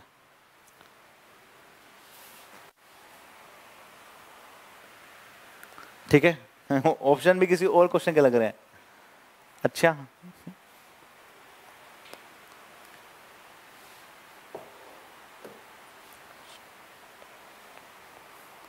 पता नहीं किसने निकाला है सी आंसर निकाला है बट आई डोंट नो कैसे निकाला है। जब निकल जाए तो मुझे भी दिखा देना भाई। ठीक है इसका निकल गया, मुझे भी दिखा देना। शायद मैं पी कर लूँ इन चीज़ों पर चलिए नेक्स्ट क्वेश्चन करेंगे quickly what is correct answer for this question the void ratio of a given soil is twice that of the another soil B with effective size of particle soil A is one third of that of soil B the ratio of a height of capillary water A soil to right soil B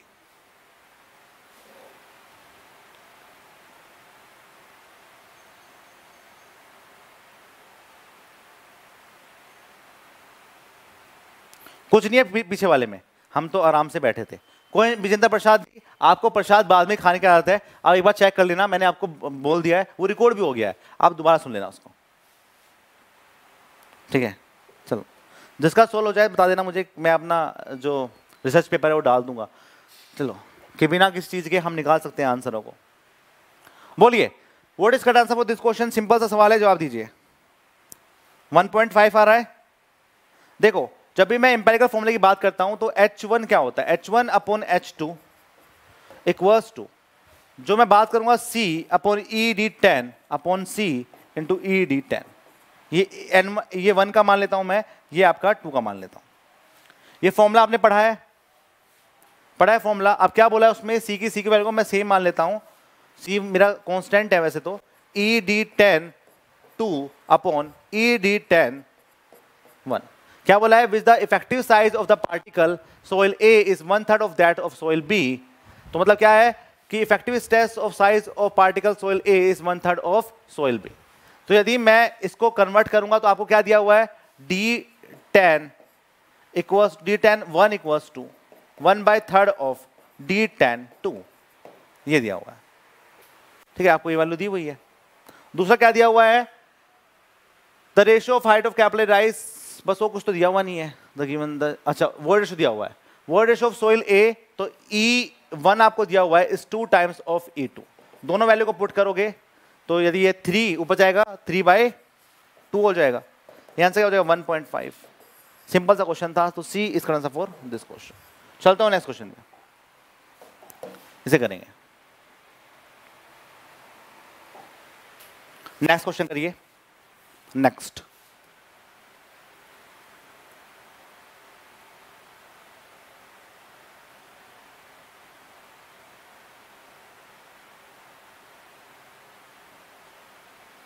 अच्छा congratulation KD जी।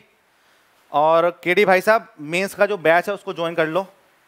ठीक है, ये नहीं कह रहा हूँ कि मुझे पैसे मिल जाएँगे उसके बट आपके एग्ज़ाम में बड़ा ही फ़ायदा होगा उससे। यदि आपने, क्योंकि उसमें हमने बहुत अच्छे अच्छे क्वेश्चन कराए हैं मेंस वाला जो बैच है, यदि आपको अपने कन्वेंशनल पे फोकस करना है कन्वेंशनल पे फोकस करना है तो उन सारे क्वेश्चन को लगा के जाना है। यदि आप लगा के जाओगे तो आपको बहुत ज़्यादा फ़ायदा होगा, बहुत ज़्यादा फ़ायदा होगा।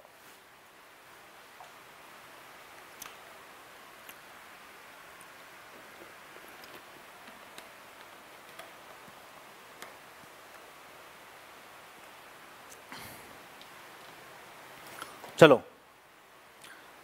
नेक्स्ट क्वेश्चन करेंगे। What is the of this question effective stress in the sand layer below the lake अब भैया यहाँ जाओ। अच्छा ऐसे जेम दिए हुए हैं। फिर सही है। फिर सही है, यदि आपने दिया हुआ है तो सही है। बट अभी आप हमारा मेंस वाला बैच है, जो हमने एसएससी के लिए करा था हाँ उसमें यदि आप पढ़े थे तो उसको ही आप ले लेना। बस एक बार प्रैक्टिस कर लेना क्वेश्चंस की। जो आपके पास होगी वो पूरी पूरी जो हमने दी थी बुकलेट उसको कर लेना तो उसके आपकी जो क्लियरिटी वो आ जाएगी। बोलिए what is answer this question जवाब दीजिए। The effective stress in sandy soil below the lake with the standing water does not alter the water level in the fluctuation regarding the water table below the ground surface is rise in the water table cause a equal change in both pore pressure in the effective stress the capillaries saturation will cause a effective stress to increases बोलिए। D D D D D अब क्या बात करेंगे? बात कर लेंगे। The effective stress in sandy layer below the lake with the standing water does not alter as a water level fluctuate अब जो क्या होता है, बता चुका हूँ मैं आपको। पहले का तो मैं आपको दे चुका हूँ। Regarding the water table below the ground surface any rise in the water table cause a equal change in both pore pressure and effective stress ना बाबा, ना। यहाँ गलती कर दी। यहाँ इफ़ेक्टिव स्ट्रेस नहीं आना चाहिए था। यहाँ पे आना चाहिए था टोटल स्ट्रेस टोटल स्ट्रेस जितना आपका टोटल स्ट्रेस बढ़ता है, उतना ही आपका पोर वाटर प्रेशर बढ़ता है। तो दो तो बिल्कुल ही निकम्मा है। तो सेकंड गलत हो गया। सेकंड गलत तो ये भी गलत, ये भी गलत, ये भी गलत, आंसर हो गया डी। देखो कितना कितना सफ़ाई से क्वेश्चन बनाते हैं वो। कितने सफ़ाई से क्वेश्चन को बनाया जाता है कि जो गलत होता है वो हर जगह होता है। जो गलत होता है वो हर जगह होता है। और यदि आप उस, आपने वही ढूंढ लिया तो आपका नंबर बन जाएँगे फिर। अब कैपिलराइज क्या करता है, आपको बता चुका हूँ, जब कैपिलराइज होता है तो पोर वाटर प्रेशर की वैल्यू क्या हो जाती है? नेगेटिव हो जाती है। जब पोर वाटर प्रेशर की नेगेटिव जाएगी तो इफ़ेक्टिव स्ट्रेस क्या होगा? टोटल स्ट्रेस मास के पोर वाटर प्रेशर और ये वैल्यू बढ़ जाएगी तो प्लस हो जाएगा। जब प्लस हो जाएगी वैल्यू तो सही बात है इफ़ेक्टिव स्ट्रेस बढ़ जाएगी। इफ़ेक्टिव स्ट्रेस बढ़ जाएगी तो थर्ड भी सही है। आंसर होगा डी और D is answer this question चलते हैं नेक्स्ट पे।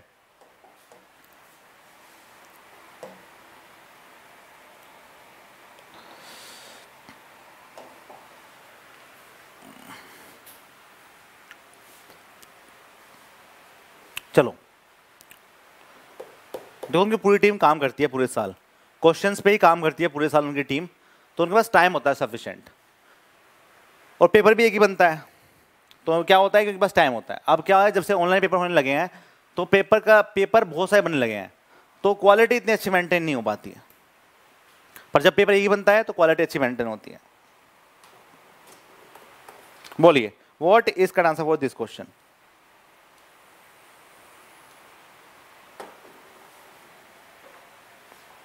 sir capillary rise के फिनोमिनन को एक बार बता देना? चलो बता देता हूँ। बोलिए what is correct this question कुछ ए बता रहे हैं, कुछ सी बता रहे हैं। Water present in the soil above the water table increase in the effective stress decrease in the effective stress no change in the effective stress क्या होगा ऑप्शन वैसे आप देखते मानना चाहिए आपको। यदि आप ये भी गलत कर रहे हो तो आप बहुत बड़े वाले निकम में हो। अपवर्ड सीपेज फ्लो क्या करेगा?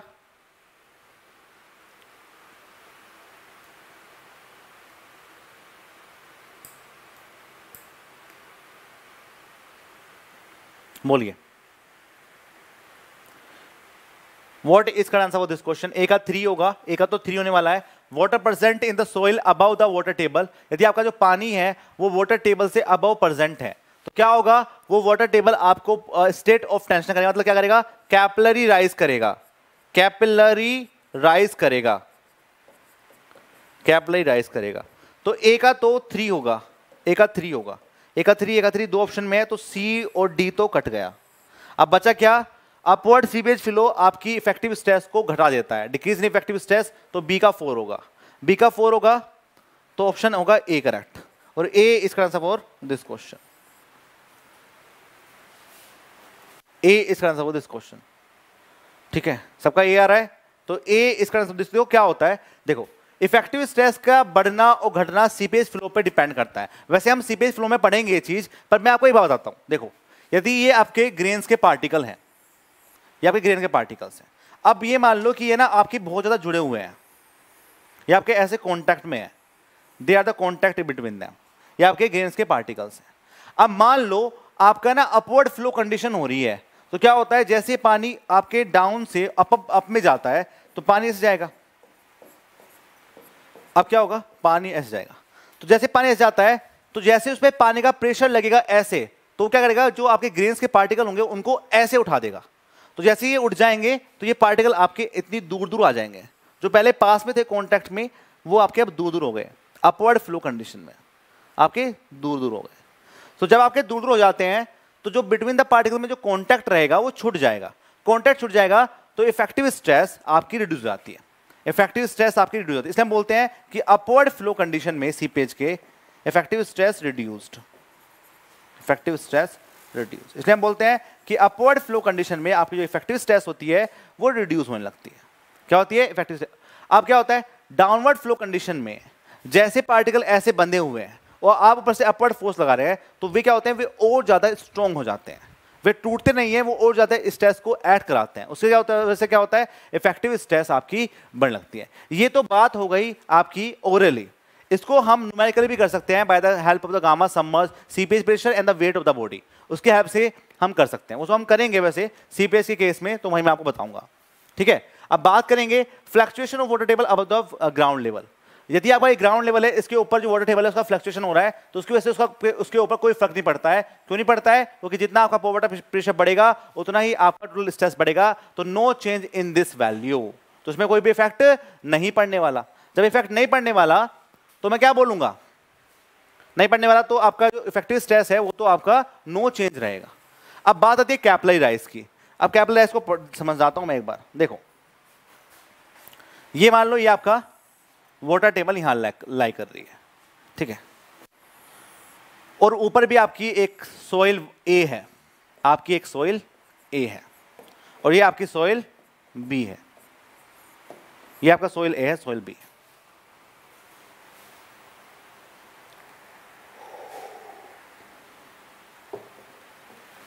तो क्या होता है? यदि आपका वाटर टेबल यहाँ पे लाई कर रहा है, और ऊपर भी सोइल सोइल आपकी है तो क्या करता है? इन वाले पार्टिकल्स के बीच में ऐसे टेंशन क्रिएट होता है। बिटवीन द पार्टिकल्स ऐसा टेंशन क्रिएट होता है। क्योंकि वहाँ क्या है? वहाँ पे पानी तो है नहीं।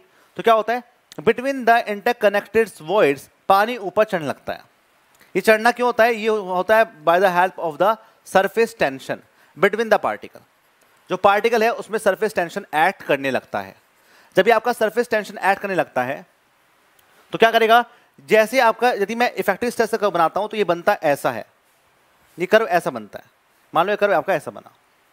लेकिन, क्या होता है जैसे जैसे बढ़ने लगता है तो ऊपर की साइड बढ़ रहा है। लेकिन बढ़ना इसको नीचे की साइड चाहिए था।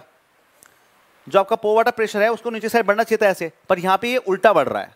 ये आपका उल्टा बढ़ रहा है। तो मतलब क्या हुआ? यहाँ पे आपका जो पो वाटर प्रेशर है, उसकी वैल्यू उल्टी हो गई है। उसकी वैल्यू यहाँ पे उल्टा हो गया। तो ये आपका ऐसे बन लगता है।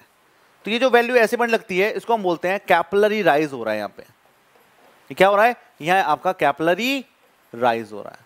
इट इज़ कैपलरी राइज तो ये आपका कैपलरी राइज हो गया। तो यदि आपका ये कैपलरी राइज हो गया तो हम क्या बोल देते हैं कि देखो, अब सिंपल सा कॉन्सेप्ट ये है कि effective stress equal total stress mass से वाटर प्रेशर होता है इन डाउनवर्ड कंडीशन में। जब आपका ग्राफ ऐसा बन रहा हो भाई यहाँ पे क्या होगा? जैसे जैसे आपकी जेट डेथ बढ़ती है वैसे वैसे आपका जो पोर वाटर प्रेशर है, वो बढ़ता है। और मैक्सिमम होता है उस वाले पॉइंट पे जहाँ पे आप उसको चेक कर रहे हैं।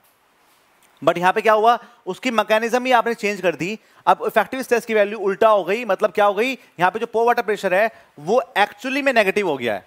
वो एक्चुअली में नेगेटिव हो गया जब ये नेगेटिव नेगेटिव दोनों मिलते हैं तो इफ़ेक्टिव स्ट्रेस प्लस के पोर वाटर प्रेशर बन जाता है और आपकी जो इफ़ेक्टिव स्ट्रेस है, वो बढ़ जाती है। तो कैपलरी राइस हमारे लिए अच्छा है या बुरा है? कैपलरी राइस हमारे लिए अच्छा है या बुरा है?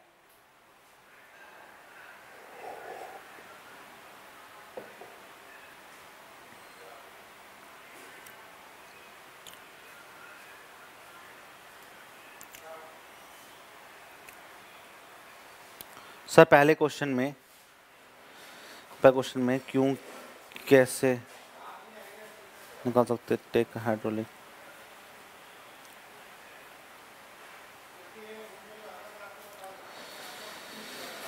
विजेंद्र सिंह अच्छा है, बुरा है, बताओ।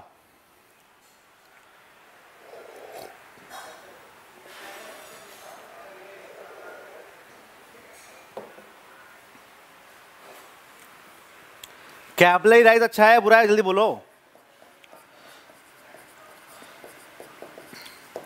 एक बात ध्यान रखेंगे, ये अच्छा नहीं है। ये अच्छा नहीं है। नहीं है। क्यों नहीं है अच्छा?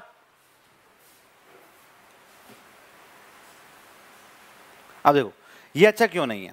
अच्छा इसलिए नहीं है कि क्या होता है? जैसे जैसे आपका कैपिटल राइज होता है तो उससे आपकी इफ़ेक्टिव स्ट्रेस बढ़ जाती है। क्या होती है? वो आपकी जो इफ़ेक्टिव स्ट्रेस है बढ़ती है। बट ये जो बढ़ती है, ये शॉर्ट टर्म बढ़ती है। शॉर्ट टर्म इफ़ेक्टिव स्ट्रेस बढ़ती है। शॉर्ट टर्म इफ़ेक्टिव स्ट्रेस बढ़ती है। मान लो क्या है कि अभी आपका कैपिटल राइज हुआ तो आपकी इफ़ेक्टिव स्ट्रेस बढ़ी हुई निकली। आपकी इफ़ेक्टिव स्ट्रेस बढ़ी हुई निकली।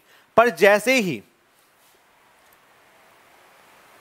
ओके तो क्या हो गया कि जैसे जैसे आपका वोटर टेबल बढ़ा तो ये जो मैनिस्कस बना, जो आपका इफ़ेक्टिव स्ट्रेस को बढ़ा रहा है, जो आपका पोवर्टा बढ़ रहा है इसको बोलते हैं कैपलराइज हो रहा है, वो मैनिस्कस टूट जाता है।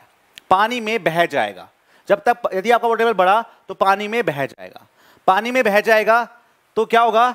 जो इफ़ेक्टिव स्ट्रेस आपकी बढ़ी हुई आ रही थी, वो अब आपकी कम होने लगेगी। तो क्या होता है? यहाँ पे बड़ा अनसर्टिनिटी रहता है। यदि आप इफ़ेक्टिव स्ट्रेस को बढ़ा रहे हैं और घटा रहे हैं तो क्या हो रहे हैं कि इन दोनों को, ये क्या कर रहा है? पहले बढ़ा रहा है, पर जैसे पानी आया तो इसमें क्या होता है? इसमें हलचल मच जाती है। ये बोलता है कि अब मतलब क्या है? निकम्मा आदमी है। ये इसमें हलचल मच जाएगी। जब हलचल मच जाएगी तो क्या करेगा? ये इफ़ेक्ट करेगा उसको। इफ़ेक्ट करता है तो आपका मैसेज टूट जाता है और आपकी इफ़ेक्टिव स्ट्रेस रिड्यूस होने लगती है। तो इसलिए क्या करते हैं, इसको हम अच्छा नहीं बोलते हैं। लॉन्ग टर्म स्टेबिलिटी के लिए अच्छा नहीं है। क्या बोल रहे हैं ये अनुजपाल? सर पहले क्वेश्चन में Q equal to K I A कर सकते हैं और take a hydraulic gradient value one नहीं दिया हुआ ना? वन कैसे मान लेंगे हम? वन में हम कैसे मान लें? यदि मैं वन मान, यदि मैं ये तो बोल रहा हूँ हाइड्रोलिक ग्रेडियंट की वैल्यू आपको दी होनी चाहिए थी।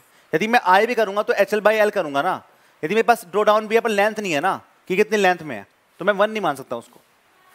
वो तो आंसर लाने वाली बात हो गई है कि आंसर ले आओ आपकी वन मान लो। वो बात सही है आपकी कि वन मान लो। पर क्या होगा? उसमें आपकी लेंथ ही नहीं दी हुई है तो हम हाइड्रोलिक ग्रेडियंट कैसे निकालेंगे? एच दिया हुआ है कि आपका रोडाउन कितना है? बट वो नहीं दिया हुआ है। चलेंगे नेक्स्ट पे। नेक्स्ट क्वेश्चन आपकी स्क्रीन पे हो गया जवाब दीजिए।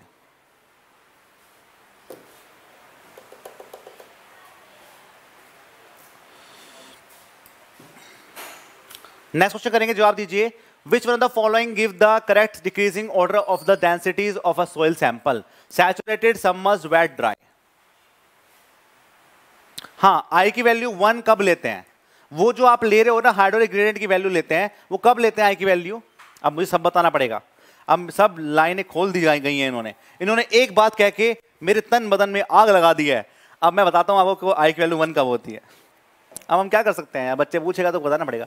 I critical equal to G minus के वन अपॉन वन प्लस के ई होता है। यदि जी की वैल्यू आप 2.65 के करीब पुट करो और आपका जो वर्ड रेशो होता है in the case of sandy soil तो क्या हो जाता है? इसकी वैल्यू आपकी पॉइंट सिक्स सेवन के करीब हो जाती है। पॉइंट सिक्स सेवन के करीब हो जाती है तो ये क्या हो जाएगा? इसकी value I critical value approximate equal to one हो जाता है। ये क्या होगा? ये कब होता है? ये तब होता है जब आपका क्विक सैंड कंडीशन होती है। ये वो क्रिटिकल है. It is a quick sand condition it is a factor of quick sand condition यदि आपकी आई की वैल्यू आई क्रिटिकल से ज़्यादा है तो हम बोल देते हैं कि क्विक सैंड कंडीशन होनी होनी है. क्विक सैंड कंडीशन होनी होनी तो ये तो वो है. ये तो वो है. तुम कैसे बोलेंगे उसको? तो ऐसे सवाल नहीं पूछेंगे मुझसे. फिर मैं पागल हो जाता हूँ. और जब मैं पागल हो जाता हूँ, समझ जाओ फिर चलो नेक्स्ट क्वेश्चन करके जवाब दीजिए which the following is the correct decreasing order of a densities of a soil sample बताइए, इनमें से कौन सा आंसर होगा आपका? अब देखो क्या होता है, यदि आप उसको देखते ही मानना चाहते हो तो आपको पता ही है कि आपका जो डिक्रीजिंग ऑर्डर होगा डेंसिटीज का, वो क्या होगा? डेंसिटीज की मैं बात करूँगा तो सबसे कम जो डेंसिटी होगी, वो आपकी गामा सबमर्ज की होने वाली है। क्या होने वाली है? गामा सबमर्ज की होने वाली है। और सबमर्ज का एक ही एग्ज़ाम्पल दिया हुआ है इसमें वो ये दिया हुआ है। तो मैं क्यों टाइम खराब करूँ? और सी लगा देता हूँ। अब एक बात और ध्यान रखेंगे स्टूडेंट को जो कंफ्यूजन होता है वो होता है सैचुरेटेड में और वैट में। कि जो सैचुरेटेड है और वैट है वो क्या होगा? ओके okay, तो क्या हो जाता है कि जो आपका सैचुरेटेड और वैट है उनमें सबसे ज़्यादा क्या होगा? देखो जब मैं सैचुरेटेड की बात करता हूँ तो गामा सेट क्या होगा? Gamma sat equals to total weight of sat upon the volume और गामा वेट करूँगा तो टोटल वेट अपॉन वॉल्यूम दोनों बात एक ही, दोनों बात एक ही लग रही है। क्या होगा? दोनों बात एक ही लग रही है। पर जो आपका गामा सेट है, वो गामा सेट की वैल्यू को मैं ज़्यादा मान रहा हूँ गामा डब्ल्यू अपन वी की वैल्यू को मैं कम मान रहा हूँ। ऐसा मैं क्यों मान रहा हूँ? मैं ऐसा क्यों मान रहा हूँ? अब देखो क्यों मान रहा हूँ? जब मैं आपको बोलता हूँ कि मेरी जो सोइल है वो सैचुरेटेड है। तो यहाँ पे जो एस की वैल्यू होती है, वो आपकी वन होती है। एस की वैल्यू आपकी वन होती है मतलब फुल्ली सैचुरेटेड माना है मैंने सोइल सैंपल अब दूसरा क्या हुआ? दूसरा जब मैं वॉल्यूम को मानता हूँ वॉल्यूम को मानता हूँ तो उस वॉल्यूम में मैं आपका जो सैचुरेशन है, वो ज़ीरो से हंड्रेड परसेंट के बीच में मानता हूँ। तो मतलब क्या हुआ? डिग्री ऑफ़ सैचुरेशन इसमें हंड्रेड परसेंट रहेगा तो वेट तो बढ़ेगा वॉल्यूम सेम रहेगा। इसमें क्या होगा? वेट तो वेट अपने आप ही कम हो जाएगा क्योंकि आपका जो सैचुरेशन है वो ज़ीरो से हंड्रेड परसेंट के, के पास में है। तो एस की वैल्यू इसमें कम होती है। अब जो स्टूडेंट बोल रहा है कि जो सोलिड है उसकी मैक्सिमम होती है वो बात सही है उनकी लेकिन जो गामा डी है उसकी कम होती है तो क्या होता है? डब्ल्यू एस बाई वी होता है। इसमें क्या है? वी आपका टोटल सोइल का मास है total soil total soil mass और ये आपका वेट ऑफ़ सॉलिड है। तो ये तो आपका बड़ा, पर ये आपका फिक्स हो गया तो गामा डी आपका कम होने लगता है। इसलिए हम ऐसा बोलते हैं। ठीक है? तो इसलिए हम ऐसा बोलते हैं, ये बात ध्यान रखेंगे। तो ये आपके एग्ज़ाम में आए तो आप सभी को कर देना है सीज का आंसर फॉर दिस क्वेश्चन चलते नेक्स्ट पे।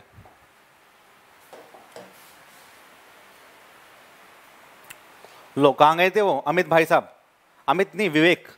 विवेक शर्मा जी, आपके लिए क्वेश्चन आ चुका है। पार्शली में कितना परसेंट आपका वोटर होता है। अरे ये कैसा सवाल है भाई? पार्शली में आपका क्या होगा? भाई जब मैं आपको सोल को पार्शली बोलता हूँ तो पार्शली मतलब क्या है? पार्शली का मतलब क्या है? कि उसमें क्या है? उसमें एयर भी है उसमें आपका सेचुरेशन भी है। हम अब उसकी जो वैल्यू होगी वो ज़ीरो से हंड्रेड परसेंट के बीच में होगी ना। हंड्रेड परसेंट होती तो फुल्ली सैचुरेट होती। यदि आपकी आ, पूरी नहीं होती यदि आपकी हंड्रेड परसेंट नहीं होती तो पार्शली होती। तो ज़ीरो से हंड्रेड के बीच में बोलेंगे हम वैल्यू को।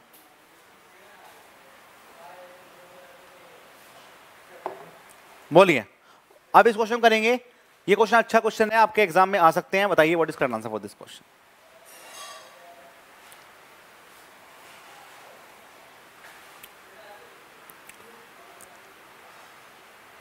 चलिए। नेक्स्ट क्वेश्चन आपकी स्क्रीन पे आ गया, जवाब देंगे। बोला गया आपसे the water table at a location is at the ground surface and saturated weight of soil is 20 kilometre per metre cube if are due to heavy precipitation the water level rise to two metre above the ground level the increase in the vertical effective stress at the point two metre below the ground surface बोलिए what is correct answer for this question zero Shagun Tyagi very nice और नसीमुल हक D. Very nice अब ये जो निगम में ए answer बता रहे हैं, इनको अपना आंसर चेंज नहीं करना है बिल्कुल भी। तुम चेंज करें ना, फिर देखना तुम। चेंज नहीं करेंगे आंसर अपना।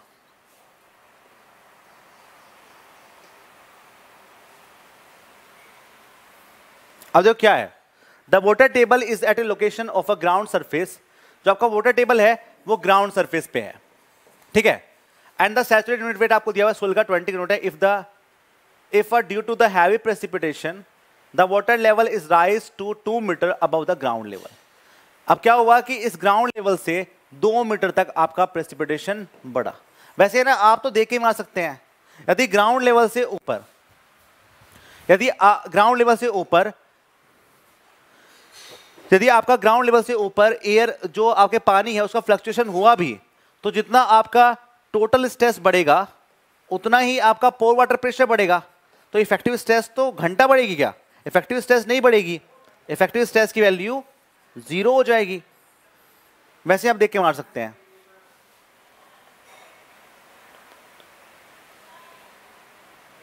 ओके तो क्या हो गया? बढ़ेगी नहीं। यदि आपका two metre above the ground level की बात कर रहा है तो इनकी द वर्टिकल इफ़ेक्टिव स्ट्रेस की बात कर रहा है। At the two point below the ground level तो वो तो बढ़ेगी नहीं। वो तो सेम की सेम ही रहेगी ना। भाई, पहले आपका यदि मैं मानता, ये मेरा ऊपर था और मेरा पानी यहाँ तक भरा हुआ है। बात समझ में आ रही है मेरी? मैं इसको पहले भी करके दिखा चुका हूँ आपको। यदि आप चाहोगे तो मैं इसको दोबारा भी करके दिखा सकता हूँ आपको। बात क्वेश्चन को बस उसने घुमा दिया है और कुछ नहीं किया है। उसने बस ये कहा है, ये था आपका केस ये वाटर टेबल यहाँ पे थी और दो मीटर आप ये मान लो। दो मीटर ये मान लो। है ना? The vertical effective stress at the point two metre below the ground surface अब क्या हुआ? दो मीटर, अब इसके ऊपर क्या हुआ? दो मीटर आपका पानी का फ्लक्चुएशन बढ़ गया। पानी का आपका फ्लक्चुएशन बढ़ गया। तो बात तो वही हो गई। जितना आपका पोर वाटर प्रेशर क्या हो जाएगा? पोर वाटर प्रेशर हो जाएगा आपका फोर गामा डब्लू और जो टोटल स्ट्रेस हो जाएगी वो क्या हो जाएगी? टू गामा डब्लू और प्लस के टू गामा सेट अब गामा जो आपका इफ़ेक्टिव स्ट्रेस है वो क्या हो जाएगी? टोटल स्ट्रेस माइनस के पोर वाटर प्रेशर तो कितना हो गया ये? टू गामा डब्लू प्लस के टू गामा सेट माइनस के फोर गामा डब्लू ये हो गया पोर वाटर प्रेशर ठीक है इसको टू टू में कन्वर्ट कर लो तो ये आपका हो जाएगा टू इंटू गामा समर्ज्ड और यदि ये नहीं होता, तब भी आपका टू गामा समर्ज ही होता। तभी आपका टू गामा समर्ज ही होता इस वाले केस में। तो क्या कोई चेंज हुआ? नहीं हुआ कोई चेंज ठीक है, कोई चेंज हुआ? पहले वाले केस में, इस वाले केस में कोई चेंज नहीं हुआ तो आंसर क्या होगा? आंसर हो जाएगा डी एंड डी इज़ का आंसर फॉर दिस क्वेश्चन बात समझ में आ रही सभी को? कोई डाउट है तो पूछ सकते हैं, नहीं तो चलता हूँ मैं आगे फिर।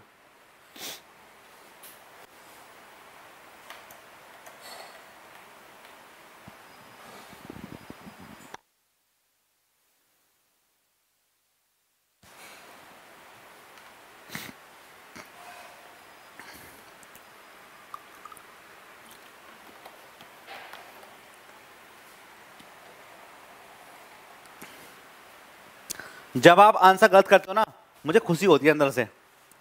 पता नहीं क्यों। तब मज़ा आता है। तभी तो मज़ा आता है कि हम कुछ पढ़ा रहे हैं। आप सवाल सही करते रहो। फिर मज़ा ही नहीं है कुछ। ज़िंदगी गुलजार नहीं रहेगी फिर। अब क्या करें? जब आप गलत करते हो ना, मज़ा आता है। हाँ कुछ अब तो कुछ सिखाने को मिलेगा। अब पहले आप सब रट के आ जाते हो। बोलिए। What is answer this question the situation shown in the given figure the coefficient of permeability of the soil is 10 की पावर माइनस के three centimetre per second the discharge in one of the one minute will be discharge पूछा है one minute one minute में कितना होगा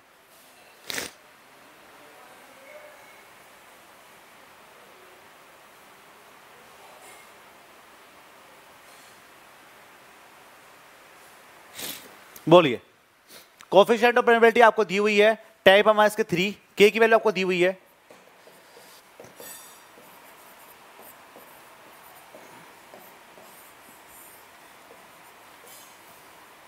अच्छा question है, ऐसे क्वेश्चन आपके गेट में भी आते हैं। ठीक है गेट में क्वेश्चन आते हैं ऐसे। और आपसे पूछा जाता है कि ये आपके सोयल सैंपल है और सोयल में से पानी ऐसे पास हो रहा है और ये आपको एरिया दिया हुआ है हंड्रेड सेंटीमीटर स्क्वायर यहाँ पे आपको एरिया दिख रहा है क्या? आपको जो एरिया दिया हुआ है, वो आपका हंड्रेड सेंटीमीटर स्क्वायर दिया हुआ है। और जो लेयर है वो आपका टू मीटर का लेयर है। ठीक है? क्या करना है आपको? डी बता रहे हैं और कुछ आपका बता रहे हैं।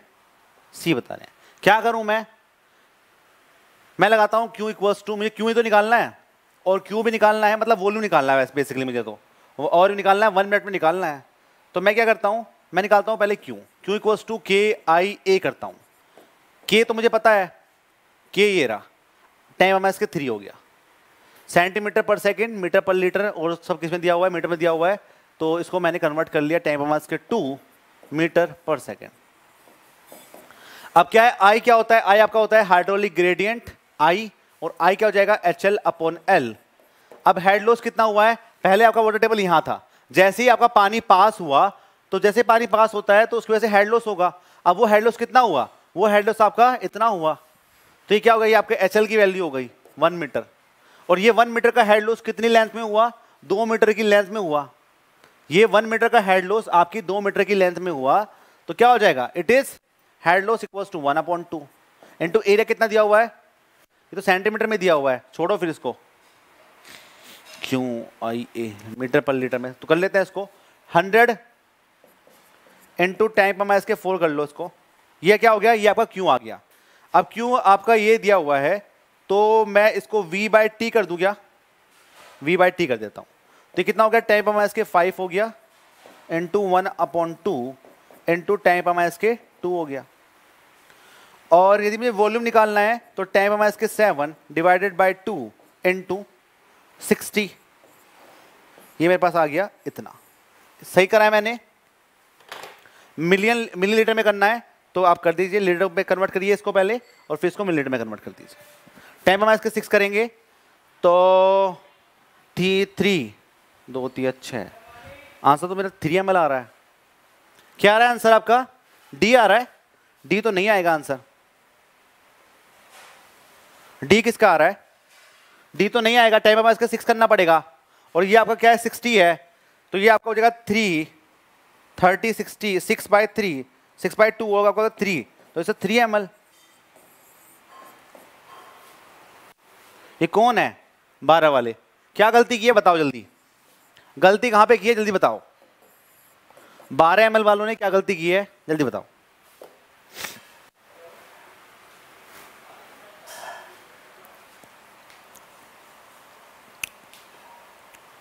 यूनिट अच्छा यूनिट में गलती कर दिया। है तो यूनिट में गलती मत करो भाई साहब। ठीक है?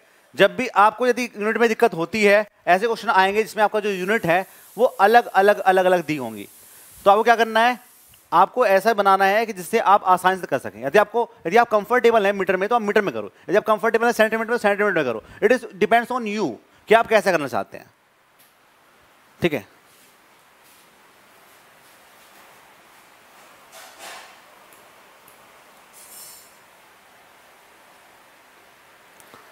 ठीक है। चलो, चलते नेक्स्ट क्वेश्चन पे। खुश तो बहुत हुआ मैं आज, अब। नेक्स्ट क्वेश्चन करेंगे। नेक्स्ट करिए। ठीक है। अब आया मज़ा।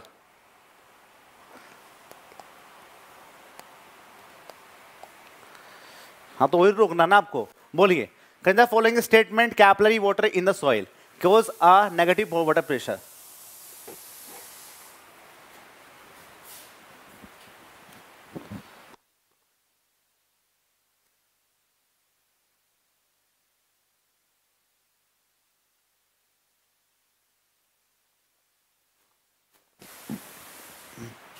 बोलिए क्वेश्चन में आपसे बोला गया following statement capillary water in the soil cause a negative pore water pressure reduce the effective stress increase the bearing capacity and reduce the bearing capacity A answer बता रहे हैं वन एंड थ्री देखो one and आपको सब समझ में आ रहा होगा कि बियरिंग कैपेसिटी को बढ़ा देता है। यह किस, कौन सी बियरिंग कैपेसिटी बढ़ाता है? It is a short term bearing capacity क्योंकि इफ़ेक्टिव स्ट्रेस की वैल्यू यहाँ पे बढ़ी हुई आ रही है। ठीक है? तो क्या ना, कभी भी है ना सोइल के अंदर सोइल के अंदर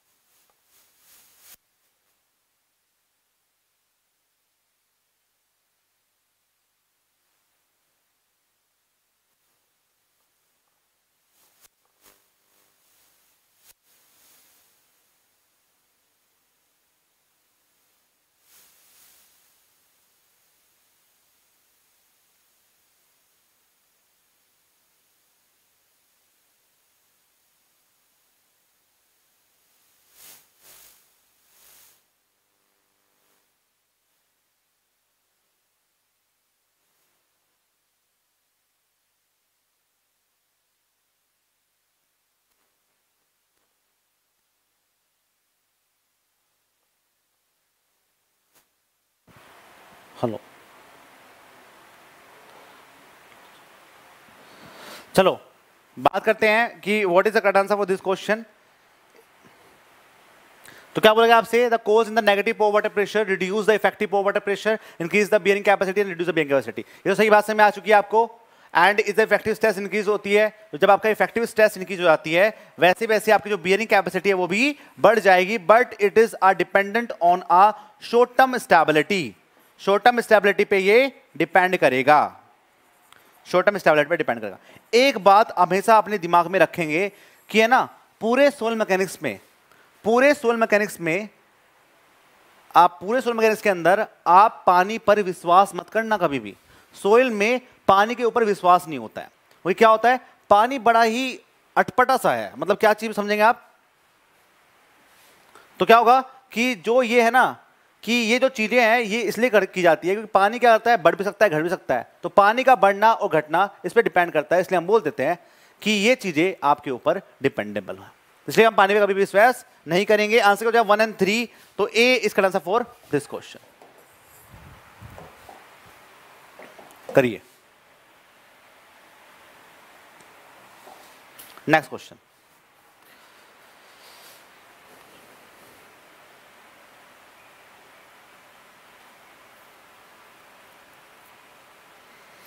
नेक्स्ट क्वेश्चन करेंगे, जवाब दीजिए what is correct answer for this question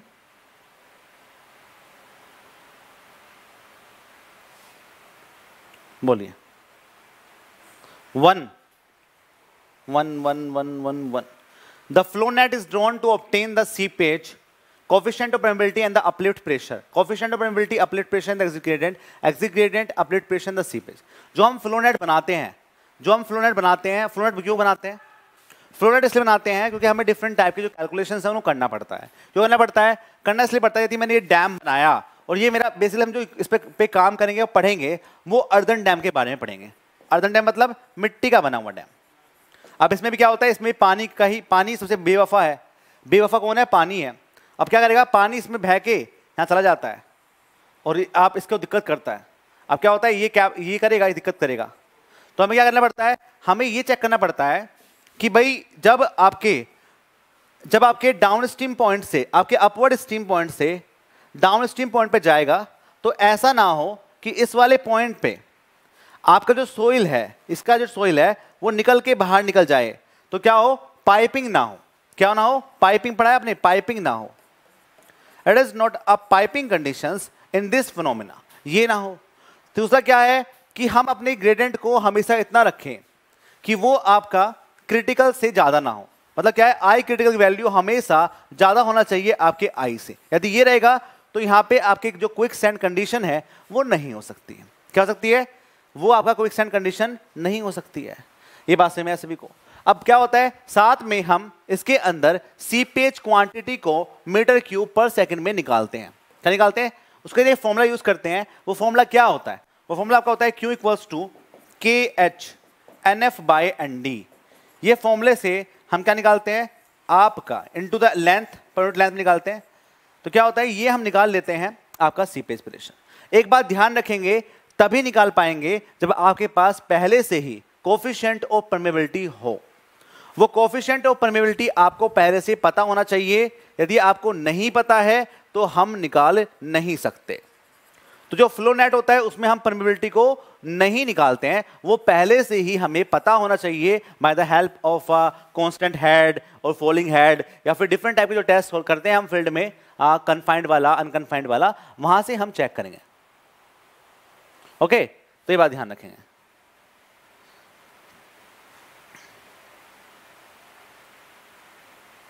okay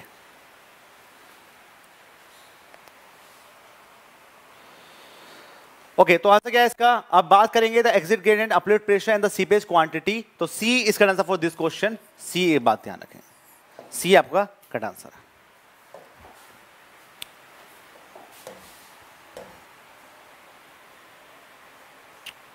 ये बड़ा ही अच्छा क्वेश्चन है। बड़ा ही अच्छा क्वेश्चन ये करो। एक चॉकलेट पक्का। एक पक्का चॉकलेट दूँगा मैं आपको। ऑनलाइन घर बुक कर दूँगा आपके। करिए। अब रट के बैठे होंगे पर पर आपके जो बच्चे हैं और सब सब जो बच्चे हैं वो रटके बैठे होंगे यार। अब क्या करूँ? आंसर पहले आ गया B B B B. No chocolate ठीक है deal cancel deal cancel answer बारह। लो। मतलब क्वेश्चन को पढ़ने में देरी।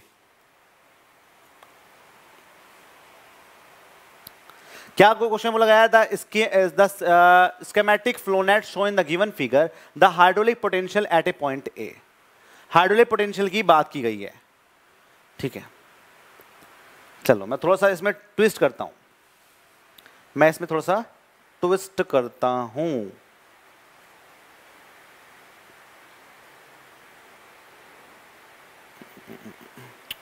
दो केसेस में पहला केस तो यही है। सेकंड केस है, आपको यहाँ निकालना है। इस वाले पॉइंट पे निकालना है। ये आपका बी पॉइंट है, यहाँ भी निकालो। और, यहाँ निकालो और यहाँ निकालो। ये आपका सी पॉइंट पे निकालो। अब निकालो।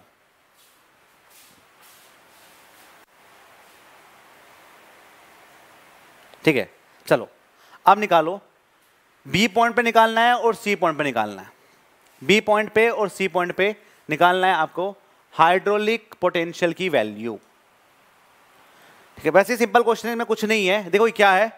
ये क्या बोल रहा है क्वेश्चन में? क्वेश्चन में आपको देख के लग रहा होगा, ये जो लाइन्स है ना, ये जो लाइन है, ये आपकी फ्लो लाइन्स है। ठीक है फ्लो लाइन है ये। तो नंबर ऑफ़ फ्लो लाइन्स कितनी है? Number of flow lines equals to three अब बात करते हैं, जो आपके इक्वी पोटेंशियल ड्रॉप है। जो आपका इक्वी पोटेंशियल ड्रॉप है इक्वी पोटेंशियल ड्रॉप की मैं बात करूँगा। तो इक्वी पोटेंशियल ड्रॉप क्या होता है? जो आपकी फ्लो लाइन के परपेंडिकुलर होगा। तो क्या होगा, जितने आपके number of equipotential lines होंगी, वो क्या होंगी? वो आपकी होंगी एक, दो, तीन, चार, पाँच छ सात, आठ, नौ। तो नंबर ऑफ़ इक्विपोटेंशियल ड्रॉप क्या है? एनडी की वैल्यू आपकी बारह है। एनडी की वैल्यू आपकी बारह है। एनडी की वैल्यू आपकी बारह है। अब क्या बोला है? अट्ठारह मीटर अट्ठारह मीटर का जो इक्विपोटेंशियल ड्रॉप है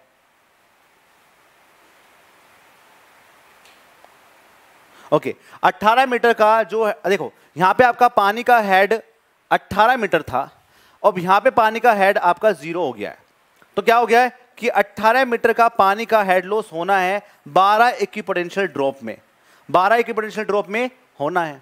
अब यदि मैं आपसे पूछूँ कि एक एक इक्विपोटेंशियल ड्रॉप में, एक आपके इक्विपोटेंशियल ड्रॉप में कितना पानी का लॉस होना है? ठीक है? मतलब क्या हो गया? यदि मैं बात करूँ 12 का होना इसमें, ये पूरा पूरा 18 मीटर का पानी 12 इक्विपोटेंशियल ड्रॉप में जाएगा तो एक में कितना जाएगा? सिक्स एट बी सब कुछ इक्विपोटेंशियल लाइन नहीं दिख रही, दिखाई दे रही। बोलो। नहीं दिख रहा है लाइन मैं दिखा देता हूँ। तो अब देखो। अब करिए। कोई ओ कलर ले दो अब करिए। तो कितना हो जाएगा? तो क्या हो जाएगा कि एक ड्रॉप में वन इक्विपोटेंशियल ड्रॉप में जो पानी का लॉस होगा, वो आपके 1.5 का होगा। अब ये कितना है? एक, दो, तीन, चार। तो चार में कितना होगा? Four into one point five it is पंद्रह सिक्स मीटर हो गया। सिक्स मीटर का पानी का लॉस हो चुका है। क्या हो चुका है? बारह लाइन कौन सी है? एक बार बता दीजिए। बारह लाइन नहीं है। बारह लाइन नहीं है। बारह आपके इक्विपोटेंशियल ड्रॉप है। दिख रहा है आप सभी को? एक, दो, तीन चार, पाँच छ सात, आठ, नौ और दस। तो क्या हो गया? नम, जो आपके इक्विपोटेंशियल ड्रॉप होते हैं इक्विपोटेंशियल मैं लिख देता हूँ। जो आपके इक्विपोटेंशियल ड्रॉप होते हैं इक्विपोटेंशियल ड्रॉप वो क्या होते हैं? Number of equipotential line equipotential line minus one क्योंकि दो इक्विपोटेंशियल लाइन से मिलके ही आपका एक चैनल बनेगा। क्या है? दो इक्विपोटेंशियल लाइन से मिलकर ही आपका एक चैनल बनेगा। तो क्या हो गया? सिक्स मीटर का हो गया। अब बचा हुआ कितना हेड है? तो 18 में से 6 गए तो 12 मीटर का हेड बचा हुआ है। तो ए पॉइंट पे आपका 12 मीटर का बचा हुआ है। यदि मैं आपके किस वाले पॉइंट पे कहूँ? यदि मैं आपके किसी और पॉइंट पे कहूँगा तो वहाँ पे निकाल लेंगे ऐसे ही। ये क्वेश्चन था आपका, ठीक है? तो ये कितने हो गए? भाई, एक तो ये वाला ही हो गया। दो, तीन, चार, पाँच छ सात, आठ, नौ और दस। बस। बात में सभी को। तो ऐसे ही आप हर पॉइंट पे निकाल सकते हैं आपके नंबर ऑफ़ हाइड्रोलिक पोटेंशियल एक क्वेश्चन थोड़ा सा मैं ट्रिकी देता हूँ आपको। ट्रिकी क्वेश्चन देता हूँ।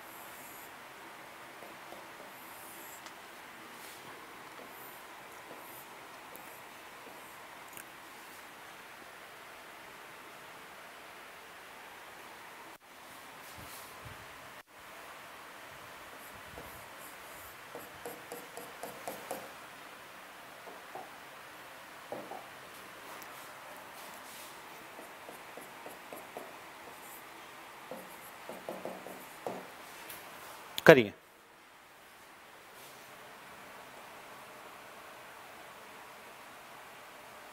चलो, बताइए मुझे what is correct answer for this question यदि मेरा ए पॉइंट है सर फ़िल्टर का भी लेंगे टॉप साइड नहीं, देखो फ़िल्टर का जो टॉप साइड है, वो भी हम इक्विपोटेंशियल लाइन में ले सकते हैं इक्विपोटेंशियल लाइन में लेंगे। देखो, क्या होती है नंबर ऑफ़ फ्लो लाइंस कौन सी होती है? ये आपका ये वाला जो पॉइंट है, ये भी आपका इक्विपोटेंशियल में आएगा, ये भी ये भी ये भी ये भी। अब जो डायरेक्शन ऑफ़ फ्लो है, वो ये वाली है। ये ये ये ये ये ये। देखो, यदि आपको दिक्कत होती है पहचानने में तो हमेशा आप इक्विपोटेंशियल ड्रॉप को पहचानो कि जो आपके इक्विपोटेंशियल ड्रॉप है वो कौन से हैं।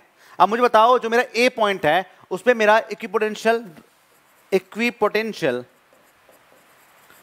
इक्विपोटेंशियल वैल्यू या इक्विपोटेंशियल हेड कितना होगा?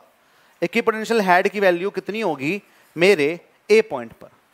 छः मीटर, आठ मीटर। अब गलतियाँ स्टार्ट हो गई हैं। अब आपकी गलतियाँ स्टार्ट हो गई हैं। छह मीटर, आठ मीटर। नहीं तो सबने ऐसे आंसर दिया जैसे ए के फोर्टी सेवन ले रहे हो। ए के फोर्टी सेवन लेके सबने दो दो दो दो दो दो दो अब दो भी आ रहे हैं, सात पॉइंट छह भी आ रहा है। अब आया मज़ा। अब आया ना मज़ा। देखो क्या है कि नंबर ऑफ़ फ्लो लाइंस कितनी है आपके पास? नंबर ऑफ़ फ्लो लाइंस की मैं बात करूँगा। एनएफ की वैल्यू कितनी है? एनएफ की वैल्यू आपके पास है तीन। नंबर ऑफ़ इक्विपोटेंशियल ड्रॉप कितने हैं? एक, दो, तीन, चार, पाँच। पाँच आपके नंबर ऑफ़ इक्विपोटेंशियल ड्रॉप है। अब क्या हुआ कि इस पाँच मीटर के ड्रॉप में आपके पानी को कितने को लॉस होना है? तो जो आंसर गलत दे रहे हैं, उनको बताना चाहता हूँ मैं। दस में से छह गया तो चार मीटर का लॉस होना है।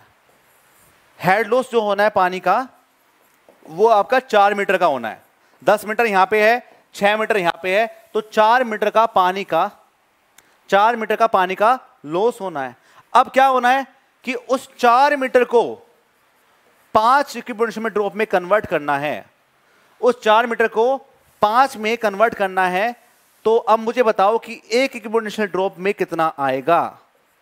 एक इक्विपोटेंशियल ड्रॉप में कितना आएगा तो वो आपका जाएगा फोर बाई फाइव आ रहा है, नहीं आ रहा है? आ रही है बात समझ में? अब क्या होगा कि यदि मुझे ए पॉइंट पे जाना है फोर बाई फाइव हो गया तो पॉइंट एट हो गया। अब एक, दो, तीन। कितनी आ रही है value? Two eight point four आ रही है क्या? तो कितना हो गया? पॉइंट एट मीटर का, पॉइंट एट मीटर का आपका ड्रॉप होना है। पॉइंट एट मीटर का ड्रॉप होना है। अब क्या हुआ? एक, दो, तीन। और तीन में आपका कितना हो जाएगा? Three into point eight equals to two point four metre का ड्रॉप हो गया है मेरा। क्या हो गया है? 2.4 मीटर का मेरा ड्रॉप हो चुका है। तो इक्विपोटेंशियल हेड कितना बचा? चार में से, दस में से छह गए चार चार में से 2.4 को माइनस कर दो। तो कितना बचा ये? कितना बचा? 1.6 metre. 1.6 metre is a equipotential head एक का भी आंसर नहीं आया। ही ही, हो अब बोलो बेटा इक्विपोटेंशियल हेड जो बचेगा, वो आपका इतना बचेगा। एक का भी आंसर नहीं आया, एक का भी। 1.6 तो एक ने भी नहीं दिया। सारे निकम में थे। अब बोलो। रोल रोल रटो। भाई, एक, दो, तीन, चार, पाँच हो गए ना। ये इक्विपोटेंशियल ड्रॉप है। ड्रॉप की बात की जाती है। देखो, जहाँ पे जितने भी आपके बॉक्स बने होते हैं बॉक्स वाले पोर्शन वो जो बॉक्स होते हैं ना, वही आपके इक्विपोटेंशियल ड्रॉप होते हैं। ये क्या होंगे? ये आपके दो इक्विपोटेंशियल लाइन से मिलकर आपका एक ड्रॉप बना हुआ है। तो जितने आपके दिए हुए ना, आपको उनको ही गिन लेना है। क्या करना है आपको? उनको ही गिन लेना है। One two three four five तो क्या हो गया? नंबर ड्रॉप कितने हो गए? वो आपके फाइव हो गए।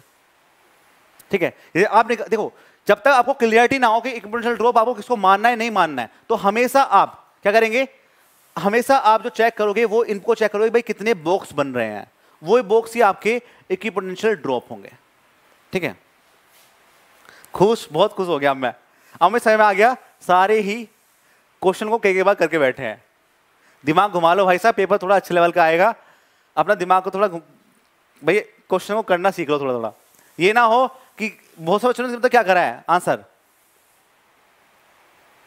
ओके तो क्या होगा? उन्होंने क्या किया होगा? इस 10 मीटर पे निकाल दिया होगा हेड ये छह मीटर का लिया ही नहीं होगा। भाई, जब 10 मीटर का पानी यहाँ है, छह मीटर का यहाँ है तो लोस तो चार मीटर का ही होना है। तो चार मीटर पे लगाएँगे। ओके तो क्या होगा? 10 मीटर से छह मीटर में करेंगे तो चार मीटर का पानी का लॉस ही होना है। ओके अब आया मज़ा। चलो, अब मैं बहुत खुश हो गया हूँ। नेक्स्ट क्वेश्चन करेंगे। What is the correct answer for this question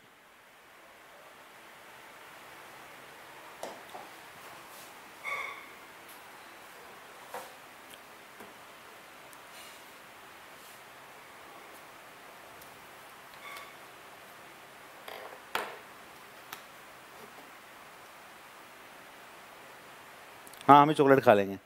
बोलिए नेक्स्ट क्वेश्चन आपकी स्क्रीन पे आ गया है। What is the correct answer for this question चलो यार, मैं तो मैं मज़ाक करता रहता हूँ, कोई टेंशन वाली बात थोड़ी ना इसमें। वो तो मज़ाक चलती रहती है।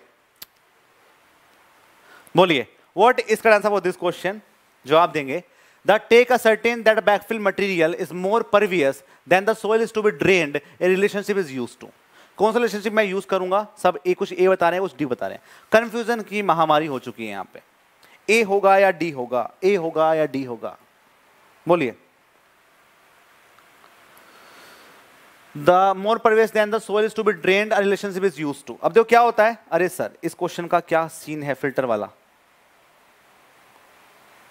सर, इसका सब कंडीशन लिखवा दो। अच्छा अच्छा। चलो। अब तो क्या होता है, अब मेरे पास क्या है ना, मेरे पास यदि ये डैम है, सुन लो ध्यान से, यदि मेरे पास ये डैम है ना तो इस डैम पे हम क्या करते हैं, यदि मेरा ये अप स्ट्रीम है, पानी का लेवल यहाँ पे है, और डाउन स्ट्रीम में मान लो कि पानी का लेवल आपके ग्राउंड लेवल पे जा रहा है यहाँ पे तो क्या होता है कि डाउन स्ट्रीम कंडीशन पे ना डाउन स्ट्रीम कंडीशन पे डाउन स्ट्रीम कंडीशन पे हम क्या करते हैं, कुछ इन्वर्टेड फ़िल्टर लगा देते हैं। इन्वर्टेड फ़िल्टर लगा देते हैं। अब क्यों लगाऊँ मैं फ़िल्टर देखो, यदि आपने फ़िल्टर नहीं लगाया, वो क्या होते हैं? आपकी जो सोइल है ना, वो सोइल क्या करेगी? अब यहाँ पे पानी ऐसे बह के जा रहा होगा, ऐसे पानी जा रहा होगा। तो क्या हुआ जैसे पानी बह के जा रहा होगा तो यहाँ की जितनी भी सोइल होगी ना, यहाँ की जितनी भी सोइल होगी, वो सारी सारी जो सोइल होगी, वो आपके इस वाले एंड पे आके बैठ जाएगी।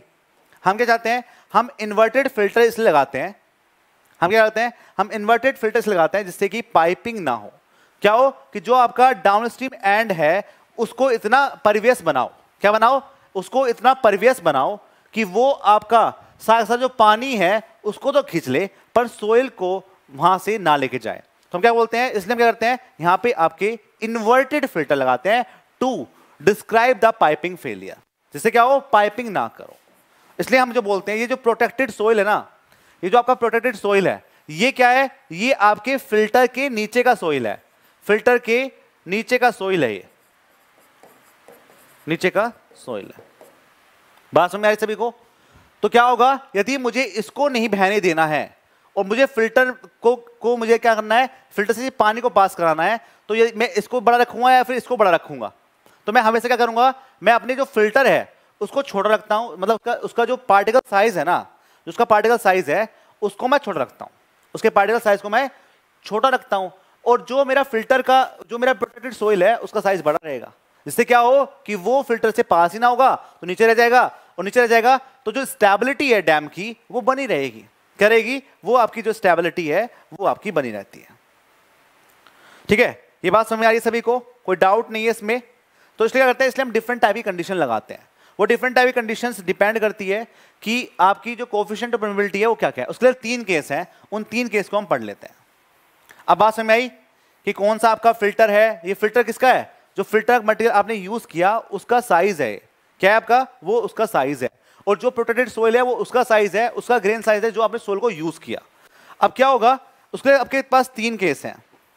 उसके पास आपके पास तीन केस हैं कि जो D15 आपका फ़िल्टर का होना चाहिए divided by D15 D15 of protected layer protected layer is greater than equals to 15 is greater than equals to is greater than equals to 5 ये क्या है आपका? इज़ ग्रेटर इक्वल्स टू 5 पहली जो कंडीशन है, वो आपका ये होना चाहिए। पहली कंडीशन आपकी ये होनी चाहिए कि जो डी फिफ्टीन आपका फ़िल्टर का रहेगा और जो डी फिफ्टीन आपका प्रोटेक्टेड लेयर का रहेगा, वो आपका पाँच से बड़ा होना चाहिए। वो आपका पाँच से बड़ा होना चाहिए। ऐसा कब होगा? ऐसा कब होगा? अभी तो मैंने आपको बताया कि जो फ़िल्टर का साइज़ रखेंगे, वो छोटा रखेंगे। और यहाँ पे आप क्या कर रहे हैं? वैल्यू को बड़ा रख रहे हैं। ऐसा क्यों कर रहे हैं सर आप? D fifteen filter is greater equals to five times of D 15 of protected layer पहली कंडीशन तो ये होती है। First condition is that okay first case में तो हमारी कंडीशन ये होती है। ये कंडीशन तब होती है जब हम परमेबिलिटी क्यों? जब हम परमेबिलिटी क्यों केस में लेते हैं। When we have to do this on the permeability cases permeability के केसेस में हम आपका ये कंडीशन को लगाते हैं। परमेबिलिटी केसेस में। उसका क्यों बनाते हैं ऐसा? इसलिए बनाते हैं कि आपके सोयल मास के अंदर जो पानी रहेगा, वो आराम से पास हो जाए। परमेबिलिटी के लिए हम इसको लगाते हैं कि जो डी फिफ्टीन फ़िल्टर होगा, वो आपका फाइव टाइम्स बड़ा होगा आपके प्रोटेक्टेड लेयर पे। It is a effective size of the particle यदि मैं डी फिफ्टीन बात करूँगा तो जो डी टेन होता है, वो आपका इफ़ेक्टिव साइज़ होता है सोयल का। तो फ़िल्टर में जो डी फिफ्टीन है, वो आपके पार्टिकल का इफ़ेक्टिव साइज़ है। क्या है वो? वो आपके पार्टिकल का इफ़ेक्टिव साइज़ है। तो परमिबिलिटी के केस में मुझे थोड़ा फ़िल्टर की का जो डाया है वो बड़ा रखना पड़ेगा। फ़िल्टर का डाया मुझे बड़ा रखना पड़ेगा। तो फ़र्स्ट कंडीशन ये है। पर इस कंडीशन में क्या पाइपिंग रुक रही है? इस कंडीशन में पाइपिंग नहीं रुक रही है। सिर्फ़ आपका परमिबिलिटी हो रही है। क्या हो रही है? परमिबिलिटी सही हो रही है। पानी पास हो जाएगा फ़िल्टर से। और कोई भी आपका जो कंडीशन होती है आपके डैम के डाउन स्ट्रीम पॉइंट पे कि भाई क्विक कंडीशन हो जाती है, वो नहीं हो पाएगी। तो क्या करा है? इस वाले केस में मैंने सिर्फ़ परमिबिलिटी को टेकन इनटू अकाउंट किया है। मैंने पाइपिंग को ओवर टर्निंग को टेकन इनटू अकाउंट नहीं किया है इन दिस केस अब क्या करना पड़ेगा? अब उसे रोकने के लिए, अब जो सेकंड कंडीशंस है, जो मैं बोलता हूँ, मैं लिखता हूँ यहाँ पे, जो सेकंड कंडीशन है वो है आपका कि D15 filter D15 filter upon D85 upon the protected protected layer is less than equals to is less than equals to, less than equals to 5 ये आपका होता है in this case of erosion जो आपके सोयल का erosion हो जाता है जो आपके सोयल का इरोजन हो जाता है तो उस वाले केस में आपको इसे टेकन इनटू अकाउंट करना पड़ेगा कि जो D15 फ़िल्टर रहेगा वो D15 filter upon the D85 protected is less than 5 होना चाहिए। क्या होना चाहिए? ये आपकी पाइपिंग को रोकेगा। ये आपकी पाइपिंग को रोकेगा। तो जब भी आपसे बोला जाए परमेबिलिटी का केस तो ये केस है। बट यहाँ पे क्या हुआ? यहाँ पे आपका इरोजन होगा अब भी। यहाँ पे आपका इरोजन होगा। ये तो मैंने पानी को टेकन इनटू अकाउंट किया। अब मुझे, मैं चाहता हूँ कि मेरा पानी तो जाएगा इस साथ साथ में। मैं चाहता ये हूँ कि जो मेरा पाइपिंग है, वो ना हो। तो पाइपिंग को रोकने के लिए मुझे D fifty filter upon D protected को पाँच से कम बनाना पड़ता। है क्योंकि मैंने पाँच से ज़्यादा तो यहाँ पर रख लिया है पहले तो मुझे करना पड़ेगा जो 85 पार्टिकल्स हैं प्रोटेक्टेड लेयर के, वो आपके हमेशा कम होना चाहिए 15 फ़िल्टर से। यदि नहीं हुए तो पानी तो पास हो जाएगा, लेकिन इरोजन भी होगा साथ में। क्या हो जाएगा? इरोजन भी साथ में हो जाएगा। बात समझ में आ रही है मेरी? तो ये क्या होती है, ये आपकी, ये 15 और 85 या, क्या इंडिकेट करते हैं? ये नहीं पता आपको 85 percent of the particle are finer than this size 85 percent of the particle are finer than this size ये डी एटी फाइव ये इंडिकेट कर रहा है। ओके okay, तो क्या होता है ये जो आपका 15 फ़िल्टर है वो आपका होता है कि यदि मैं बात करूँ कि जो 15 percent of particle are finer than this size ये आपका होता है फ़िल्टर वाला। ये वही वाला है जो आपने ग्रीन साइड डिस्ट्रीब्यूशन कर्व के अंदर पढ़ा था ये वो चीज़। है क्या बोल रहे हैं? नहीं नहीं। देन लेस देन लेते हैं इक्वल ले सकते हैं क्या? नहीं नहीं इक्वल ले सकते लेस देन लिया जाएगा। यदि आपने इक्वल लिया तो इक्वल तो ये भी है। इसके अंदर क्या होगा? परमेबिलिटी तो हो जाएगी बट इरोजन होना स्टार्ट हो जाएगा। इसलिए क्या करते हैं? हमेशा इसको पाँच से कम ही रखते हैं। हमेशा इसको पाँच से कम करते हैं। ठीक है? तो ये बात आपको समझ में आई है? किसी को नहीं आई है तो कोई बोल सकता है मुझसे। इसका एक थर्ड केस भी है। क्या हो जाएगा? उसका एक थर्ड केस भी है। थर्ड केस क्या है? कि हम क्या चाहते हैं? कि जो 15 परसेंट पार्टिकल्स हैं, वो 15 परसेंट पार्टिकल ही मुझे क्या कर रहा है? डिस्क्राइब कर रहा है। जो 15 परसेंट फ़िल्टर का है और 15 15 percent particle are final than this size है, मुझे इसको ही, को भी टेकन इनटू अकाउंट करना पड़ेगा। तो हम क्या करते हैं, इसकी वैल्यू को भी हम बोल देते हैं कि वो जो वैल्यू है, वो आपकी चार से बीस के बीच में होना चाहिए। क्या बोल देते हैं कि जो डी फिफ्टीन फ़िल्टर है D fifteen filter upon the D fifteen upon protected layer protected layer की value is less than equals to four और less than equals to twenty होना चाहिए। ये फोर और ट्वेंटी दोनों को टेकन इनटू अकाउंट करेगा। ये जो फोर और ट्वेंटी है, वो आपका दोनों को टेकन इनटू अकाउंट करेगा कि जिसमें आपका परमेबिलिटी भी होगी और जो इरोजन है, वो भी नहीं होगा। तो हम चार से चार से बीस के बीच में इसकी वैल्यू को लेते हैं।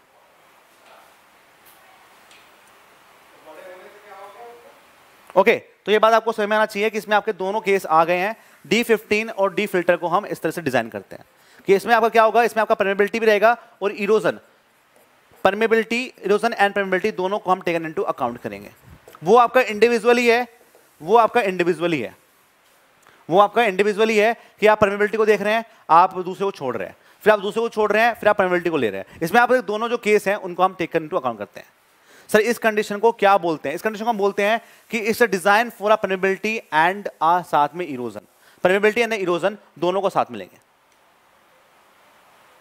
सर मोर परवियस मतलब परमेबिलिटी पूछ रहा है ना। देखो हाँ जब भी आपकी परवेस परवियस की बात की जाएगी प्रोटेक्टेड लेयर में हम क्या करते हैं? देखो, हम अपने फ़िल्टर को ऐसा बनाएँगे, हम अपने फ़िल्टर को ऐसा बनाएँगे कि जो वो फ़िल्टर होगा ना, वो परवियस होना चाहिए। क्या होना चाहिए? जो फ़िल्टर होना चाहिए, वो आपका परवियस होना चाहिए। वो क्या करेगा? वो साथ जो पानी है, उसको तो यहाँ से ले जाएगा, लेकिन जो सोइल मास है ना सोइल जो पार्टिकल्स हैं, उन सोइल पार्टिकल को ना लेके जाए। हम ऐसा बनाते हैं। तो परिवेश का मतलब ये होता है कि पैनेट्रेशन मतलब होता है। परिवेश का मतलब होता है पैनेट्रेशन से। किससे? पैनेट्रेशन से।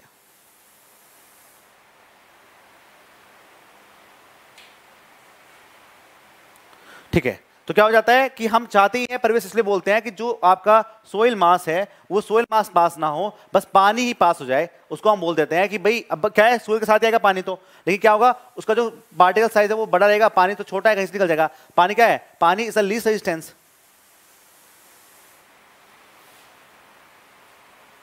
means permeability के लिए फ़िल्टर का साइज़ ज़्यादा होना रखेंगे एंड पाइपिंग के लिए प्रोटेक्टेड सोइल का साइज़ ज़्यादा होना चाहिए। हाँ बिल्कुल सही बात है।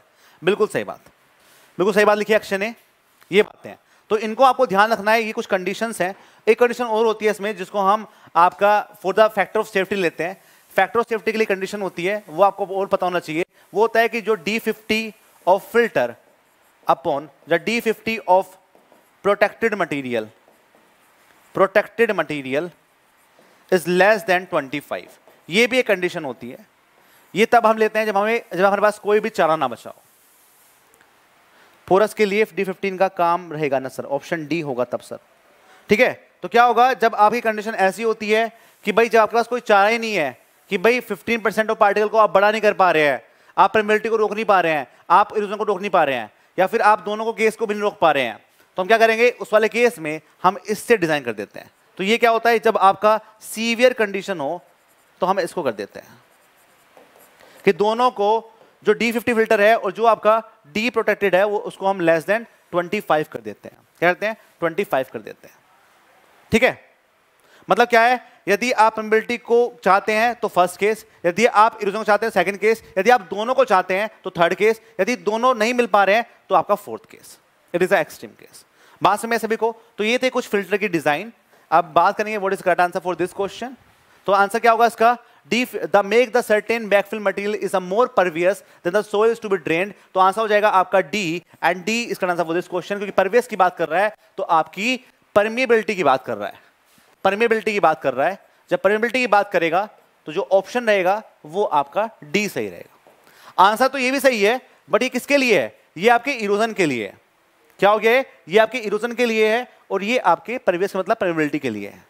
बात समझ सभी को? तो आंसर क्या होगा? आंसर हो जाएगा डी और D is answer for this question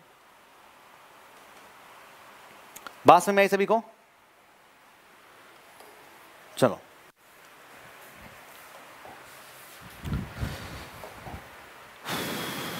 इसे कर लो। अगेन सिंपल क्वेश्चन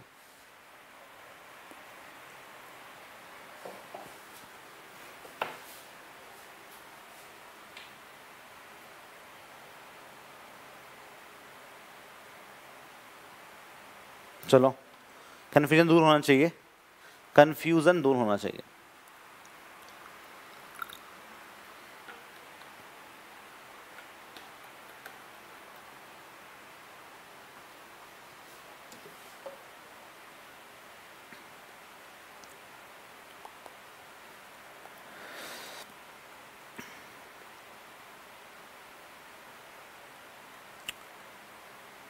चलो। चलते नेक्स्ट क्वेश्चन में जवाब दीजिए। What is correct answer for this question the flow net in the coffer dam foundation has a flow channels and a 18 exponential drop कोई doubt किसी को तो पूछ सकते हैं तो मैं चलता हूँ फिर आगे।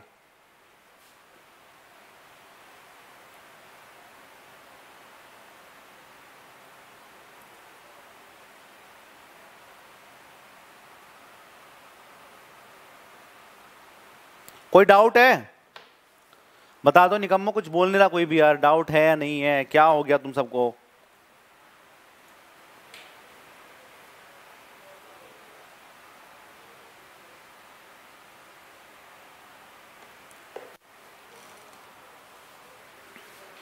बोलिए। ये आपका इतना गंदा रिस्पॉन्स मुझे बहुत खराब लगता है। आया है समय में तो बोल दो, नहीं आया, तुम नहीं बोल दो, बस और क्या करना है आपको? पर आप बोलते नहीं हो कुछ भी।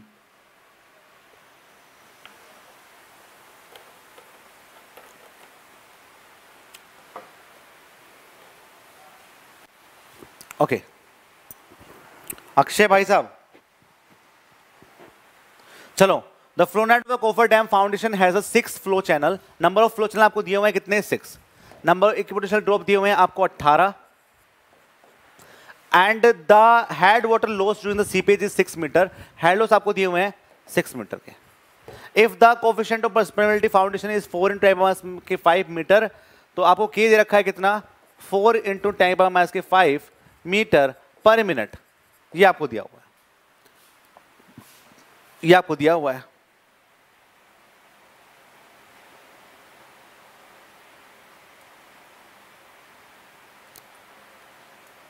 चलो, अब जो क्या है? क्यू की बात करेंगे Q is discharge equals to K H N F by N D अब क्या होगा? के की वैल्यू कितनी दी हुई है? फोर इंटू टेन पावर के थ्री मीटर पर मिनट इंटू एच की वैल्यू क्या है? हेड लॉस की वैल्यू सिक्स है. नंबर ऑफ़ फ्लो चैनल आपके सिक्स है. नंबर ऑफ़ पोटेंशियल ड्रॉप आपके तीन है. सिक्स तीन अट्ठारह तीन दूनी छः अब क्या हो गया ये? एट इंटू टाइम पावर के थ्री मीटर क्यूब पर मिनट में आ रहा है. पर मिनट। इसको कन्वर्ट कर लीजिए डेज़ में। बताइए आंसर क्या हो रहा है। कन्वर्ट तो कर लेंगे इसको डेज़ में। इसको दिक्कत तो नहीं है मिनट को डेज़ में कन्वर्ट करने में। तो क्या आंसर आ रहा है? सी आंसर आ रहा है eleven point five two metre cube per day तो C is correct answer for this question C आपका कट आंसर है। ट्वेंटी फोर ट्वेंटी फोर हाँ बिल्कुल सही बात है। उसे कर सकते हैं। चलते नेक्स्ट क्वेश्चन पे। चलो।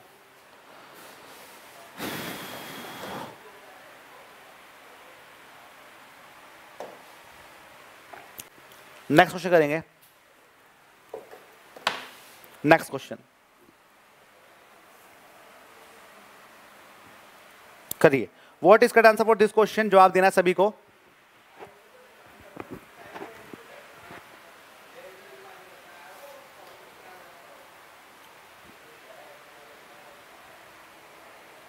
जवाब दीजिए।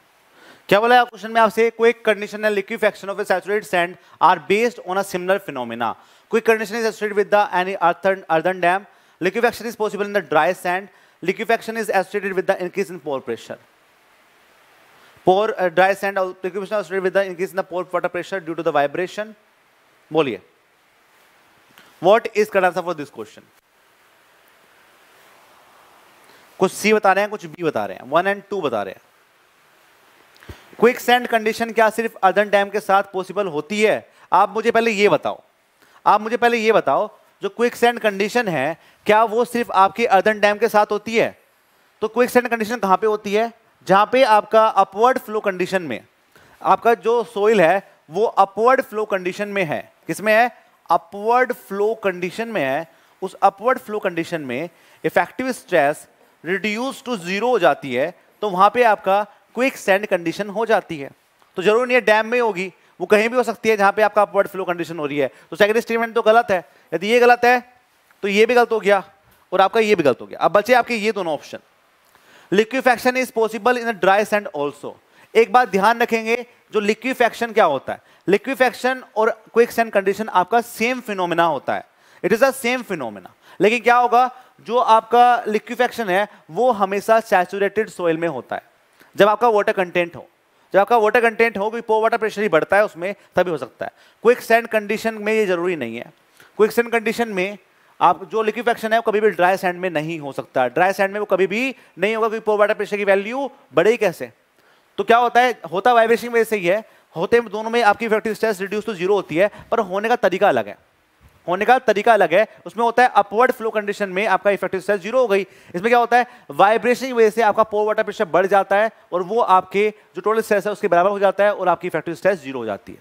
तो लिक्विड एक्शन कभी भी आपके ड्राई सैंड में नहीं हो सकता। नहीं हो सकता आपके ड्राई सैंड में। ओके तो ये बात ध्यान रखेंगे।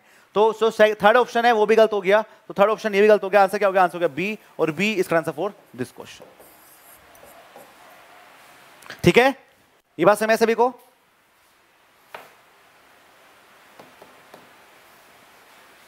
बात समझ में आई सभी को तो ये बात समझ में आना चाहिए और बी इसका आंसर फॉर दिस क्वेश्चन और आपका ये बात यहाँ पे खत्म हो गई। चलो अब आए क्वेश्चन करेंगे कल। आ, एक क्वेश्चन है एंड में बता देना। हाँ बोलो। एंड ही हो गया अब बता दो। अब क्लास खत्म करते हैं यहाँ पे और कल भी मेरी क्लास रहेगी आपकी। कल भी मेरी क्लास रहेगी। आज सुबह पाँच बजे से। Five M to ten thirty या टेन टेन थर्टी तक कर लेंगे। टेन थर्टी ए एम इसमें हम क्वेश्चन प्रैक्टिस करेंगे सोयल कल हम सोयल खत्म कर लेंगे। सोयल मैकेनिक्स पूरा खत्म कर लेंगे, ठीक है? इसको पूरा कंप्लीट करेंगे। चलो, पूछो आप अनुजपाल जी, पूछिए। What is your question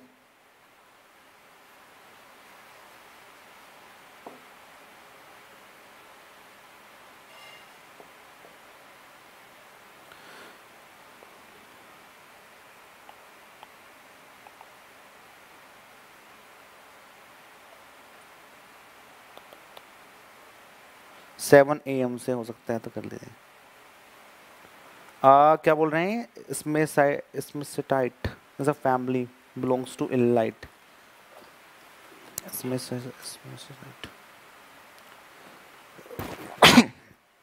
sorry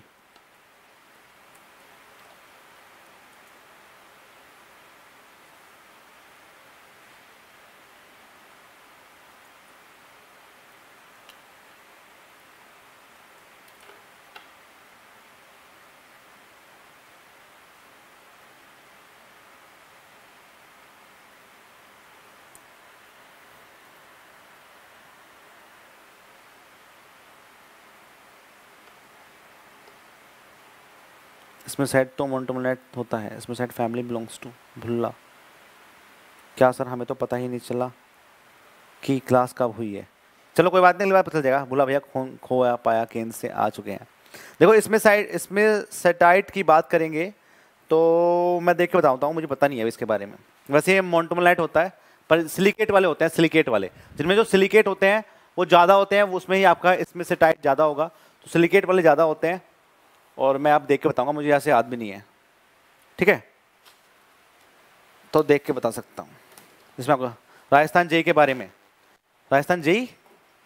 Prem Ratan Dhan पायो। राजस्थान जेई के बारे में क्या बताऊँ मैं? देखो क्वेश्चन जो आने वाले हैं राजस्थान जेई में 70 और 40 का रेशो 80 और 40 का रेशो है आपका। 80 एंड 40 का रेशो है। 80 क्वेश्चंस आएँगे। ठीक है? नेगेटिव मार्किंग हाँ बता दूँगा। सर फाउंडेशन के क्वेश्चन भी लाना, सर, काफ़ी सारे। हाँ सारे क्वेश्चन लाऊँगा। नहीं, ये जो क्वेश्चन है, वो खत्म नहीं हुए हैं। ये तो आपके सिर्फ़ जो क्वेश्चन है, वो कंसोलिडेशन तक है। ये जो क्वेश्चन है ना 132 दिख रहे हैं आपको। ये सिर्फ़ क्वेश्चन कंसोलिडेशन तक है।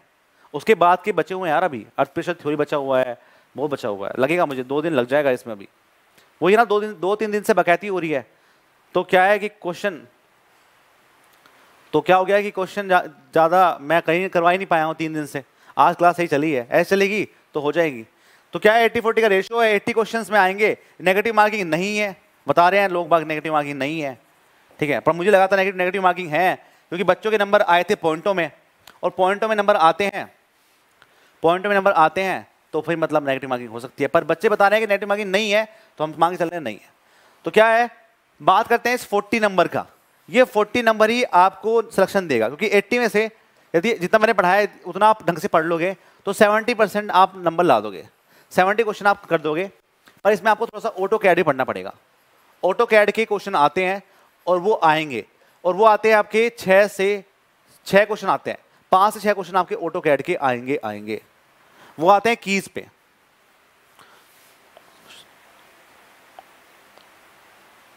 कल 46 क्वेश्चन नहीं नहीं आ, आ, नहीं। देखो क्या है कि ये जो आगे क्वेश्चंस हैं ये तो होंगे ही होंगे साथ में। साथ में अभी ये उसके बाद वो बचा हुआ है ना? शेयर स्ट्रेंथ ऑफ़ सोल बचा हुआ है।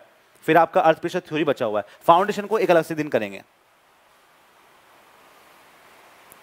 ओके तो यदि आप 70 परसेंट कर, कर आएँगे तो 40 नंबर में से देखो 40 वाला क्या करना है? 40 में से आप है ना एक है ना एक सर है। नाम चरण चरण है उनका नाम कुछ। वो बहुत अच्छा पढ़ाते हैं। वो तो करा ही नहीं आपने। करा दूँगा यार सगुन त्यागी। दिव्या जी कराऊँगा उसे ठीक है? टीचर ढूंढ रहा हूँ मैं कोई जो ऑटो कैड पढ़ा सके क्योंकि मैं पढ़ा हुआ है मैंने ऑटो कैड पर अब बहुत दिन हो गए पढ़े हुए ऑटो कैड को। क्योंकि वहाँ पे जो हम जो यूज़ करते हैं वो स्टेट प्रो यूज़ करते हैं। ओके okay, तो इसमें क्या है ना यदि आप इसको पढ़ना चाहते हैं तो कुछ यूट्यूब से पढ़ रहे हो कहीं से पढ़ रहे हो बस मैं आपसे ये कहूँगा कि ना ज़्यादा मत उनके फोकस करना। सुभाष चरण सर पढ़ाते हैं, सुभाष चरण सर पढ़ाते हैं, वो काफ़ी अच्छा पढ़ाते हैं। उनके क्वेश्चन फंस जाते हैं और एक क्या करना, सुभाष चरण सर पढ़ाते हैं। हाँ वो कभी काफ़ी अच्छा पढ़ाते हैं। उन, वो पढ़ लेना। और दूसरा क्या है कि ना बुक ले आना एक, जो आपका आर आर के पेपर होते हैं ना आर के पेपर होते हैं प्रीवियस ईयर पेपर उनको लगाओ। कुछ भी आप पढ़ रहे हो थ्योरी उनको लगाओ। यदि आप इस फोर्टी में से ट्वेंटी ट्वेंटी प्लस मार्क्स ले आए ना, और यहाँ पे इतने ले आए तो फिर आपको कोई नहीं सकता। फिर आपको नहीं सकता अब टेक्निकल से हाँ बताओ, अनुज भाई। ठीक है। यस सर करा दूँगा या करा दूँगा। दिव्या जी, आप टेंशन मतलब हो जाएगा सब। मैंने स्टैट प्रो किया हुआ है, मुझे मुझे पढ़ाना पड़ेगा फिर, मुझे कीज पढ़ानी पड़ेंगी। तो मुझे पढ़ना पड़ेगा उसके लिए। अब टाइम मिलता नहीं है सब। आपका मेंटी रह गया अभी तो। चलो फिर मिलते हैं आपका नेक्स्ट क्लास में। और कैसे पता सर मार्किंग नहीं है। नेगेटिव मार्किंग नहीं है। बच्चे सब बता रहे हैं यार नेगेटिव मार्किंग नहीं है, पर मैंने एक का पेपर रिज़ल्ट देखा था तो उसके नंबर जो आए हैं, वो वो पॉइंट में आए हैं। अब मुझे नहीं पता कि नेगेटिव है नहीं है, क्योंकि बताते नहीं है। ठीक है यूपीपीएससी ए का पेपर यार हो जाएगा, पर देखो पेपर उसके क्वेश्चन अच्छे आने वाले हैं। मैं आपको अभी से शो कर रहा हूँ कि रटोगे तो पेपर में फंसोगे। रटोगे फंसोगे रटोगे, फंसोगे। रटना ज़रूरी है, पर फंसना ज़रूरी नहीं है। आपको ढंग से करना है। हो जाएगा भाई, हो जाएगा। आराम से हो जाएगा। सो से ऊपर जाते ना आप। आराम से सिलेक्शन होगा आपका। ठीक है? तो क्या हो जाता है? 70 और 35 नंबर यदि आप ले आए तो 100 से ऊपर जाएँगे तो आप 100 परसेंट श्योर हो कि आपका नंबर आने वाला है। ये आपका आ जाएगा। क्योंकि पेपर आप थोड़ा सही बनाएँगे, जब पेपर एक ही हो रहा है तो पेपर थोड़ा सही आता है। यदि दो पेपर आते हैं, जैसे प्री और मेन्स होते हैं तो वहाँ पेपर थोड़े आसान आते हैं। लेकिन यदि आपके प्री और मे सिर्फ़ प्री प्री एग्ज़ाम हो रहा है तो आपका अच्छा आएगा ओके? तो ये बात है कि थोड़ा ना अपना थ्योरी वाले पार्ट पे भी ध्यान दो। मैं क्वेश्चन तो बहुत सारे करा ही दूँगा, पर आपको थोड़ा ना थ्योरी पढ़ना है। क्योंकि क्वेश्चन तो मैं आपको करा ही रहा हूँ इतने सारे। पर थोड़े से अपने जो नोट्स है ना, उनको थोड़ा थोड़ा थोड़ा रिवाइज कर लिया करो। सर, मैं तो टेक्निकल के भरोसे ही सर हूँ, उसके दम पर फाइट करेंगे पूरे जुनून के साथ। चलो, ऐसे कर लो। आराम से हो जाएगा। ये तो भाई बात हो गई। हंसे तो बिना नेगेटिव का भी। हाँ चलो, फिर मिलते हैं आपका। गुड नाइट कर रहे हैं। चलो गुड नाइट बाय और पढ़ते रहिए और ना थोड़ा हिंदी हिंदी का थोड़ा एक दो घंटे निकालते रहिए यार। अब हम आपको हिंदी तो पढ़ा ही सकते हैं।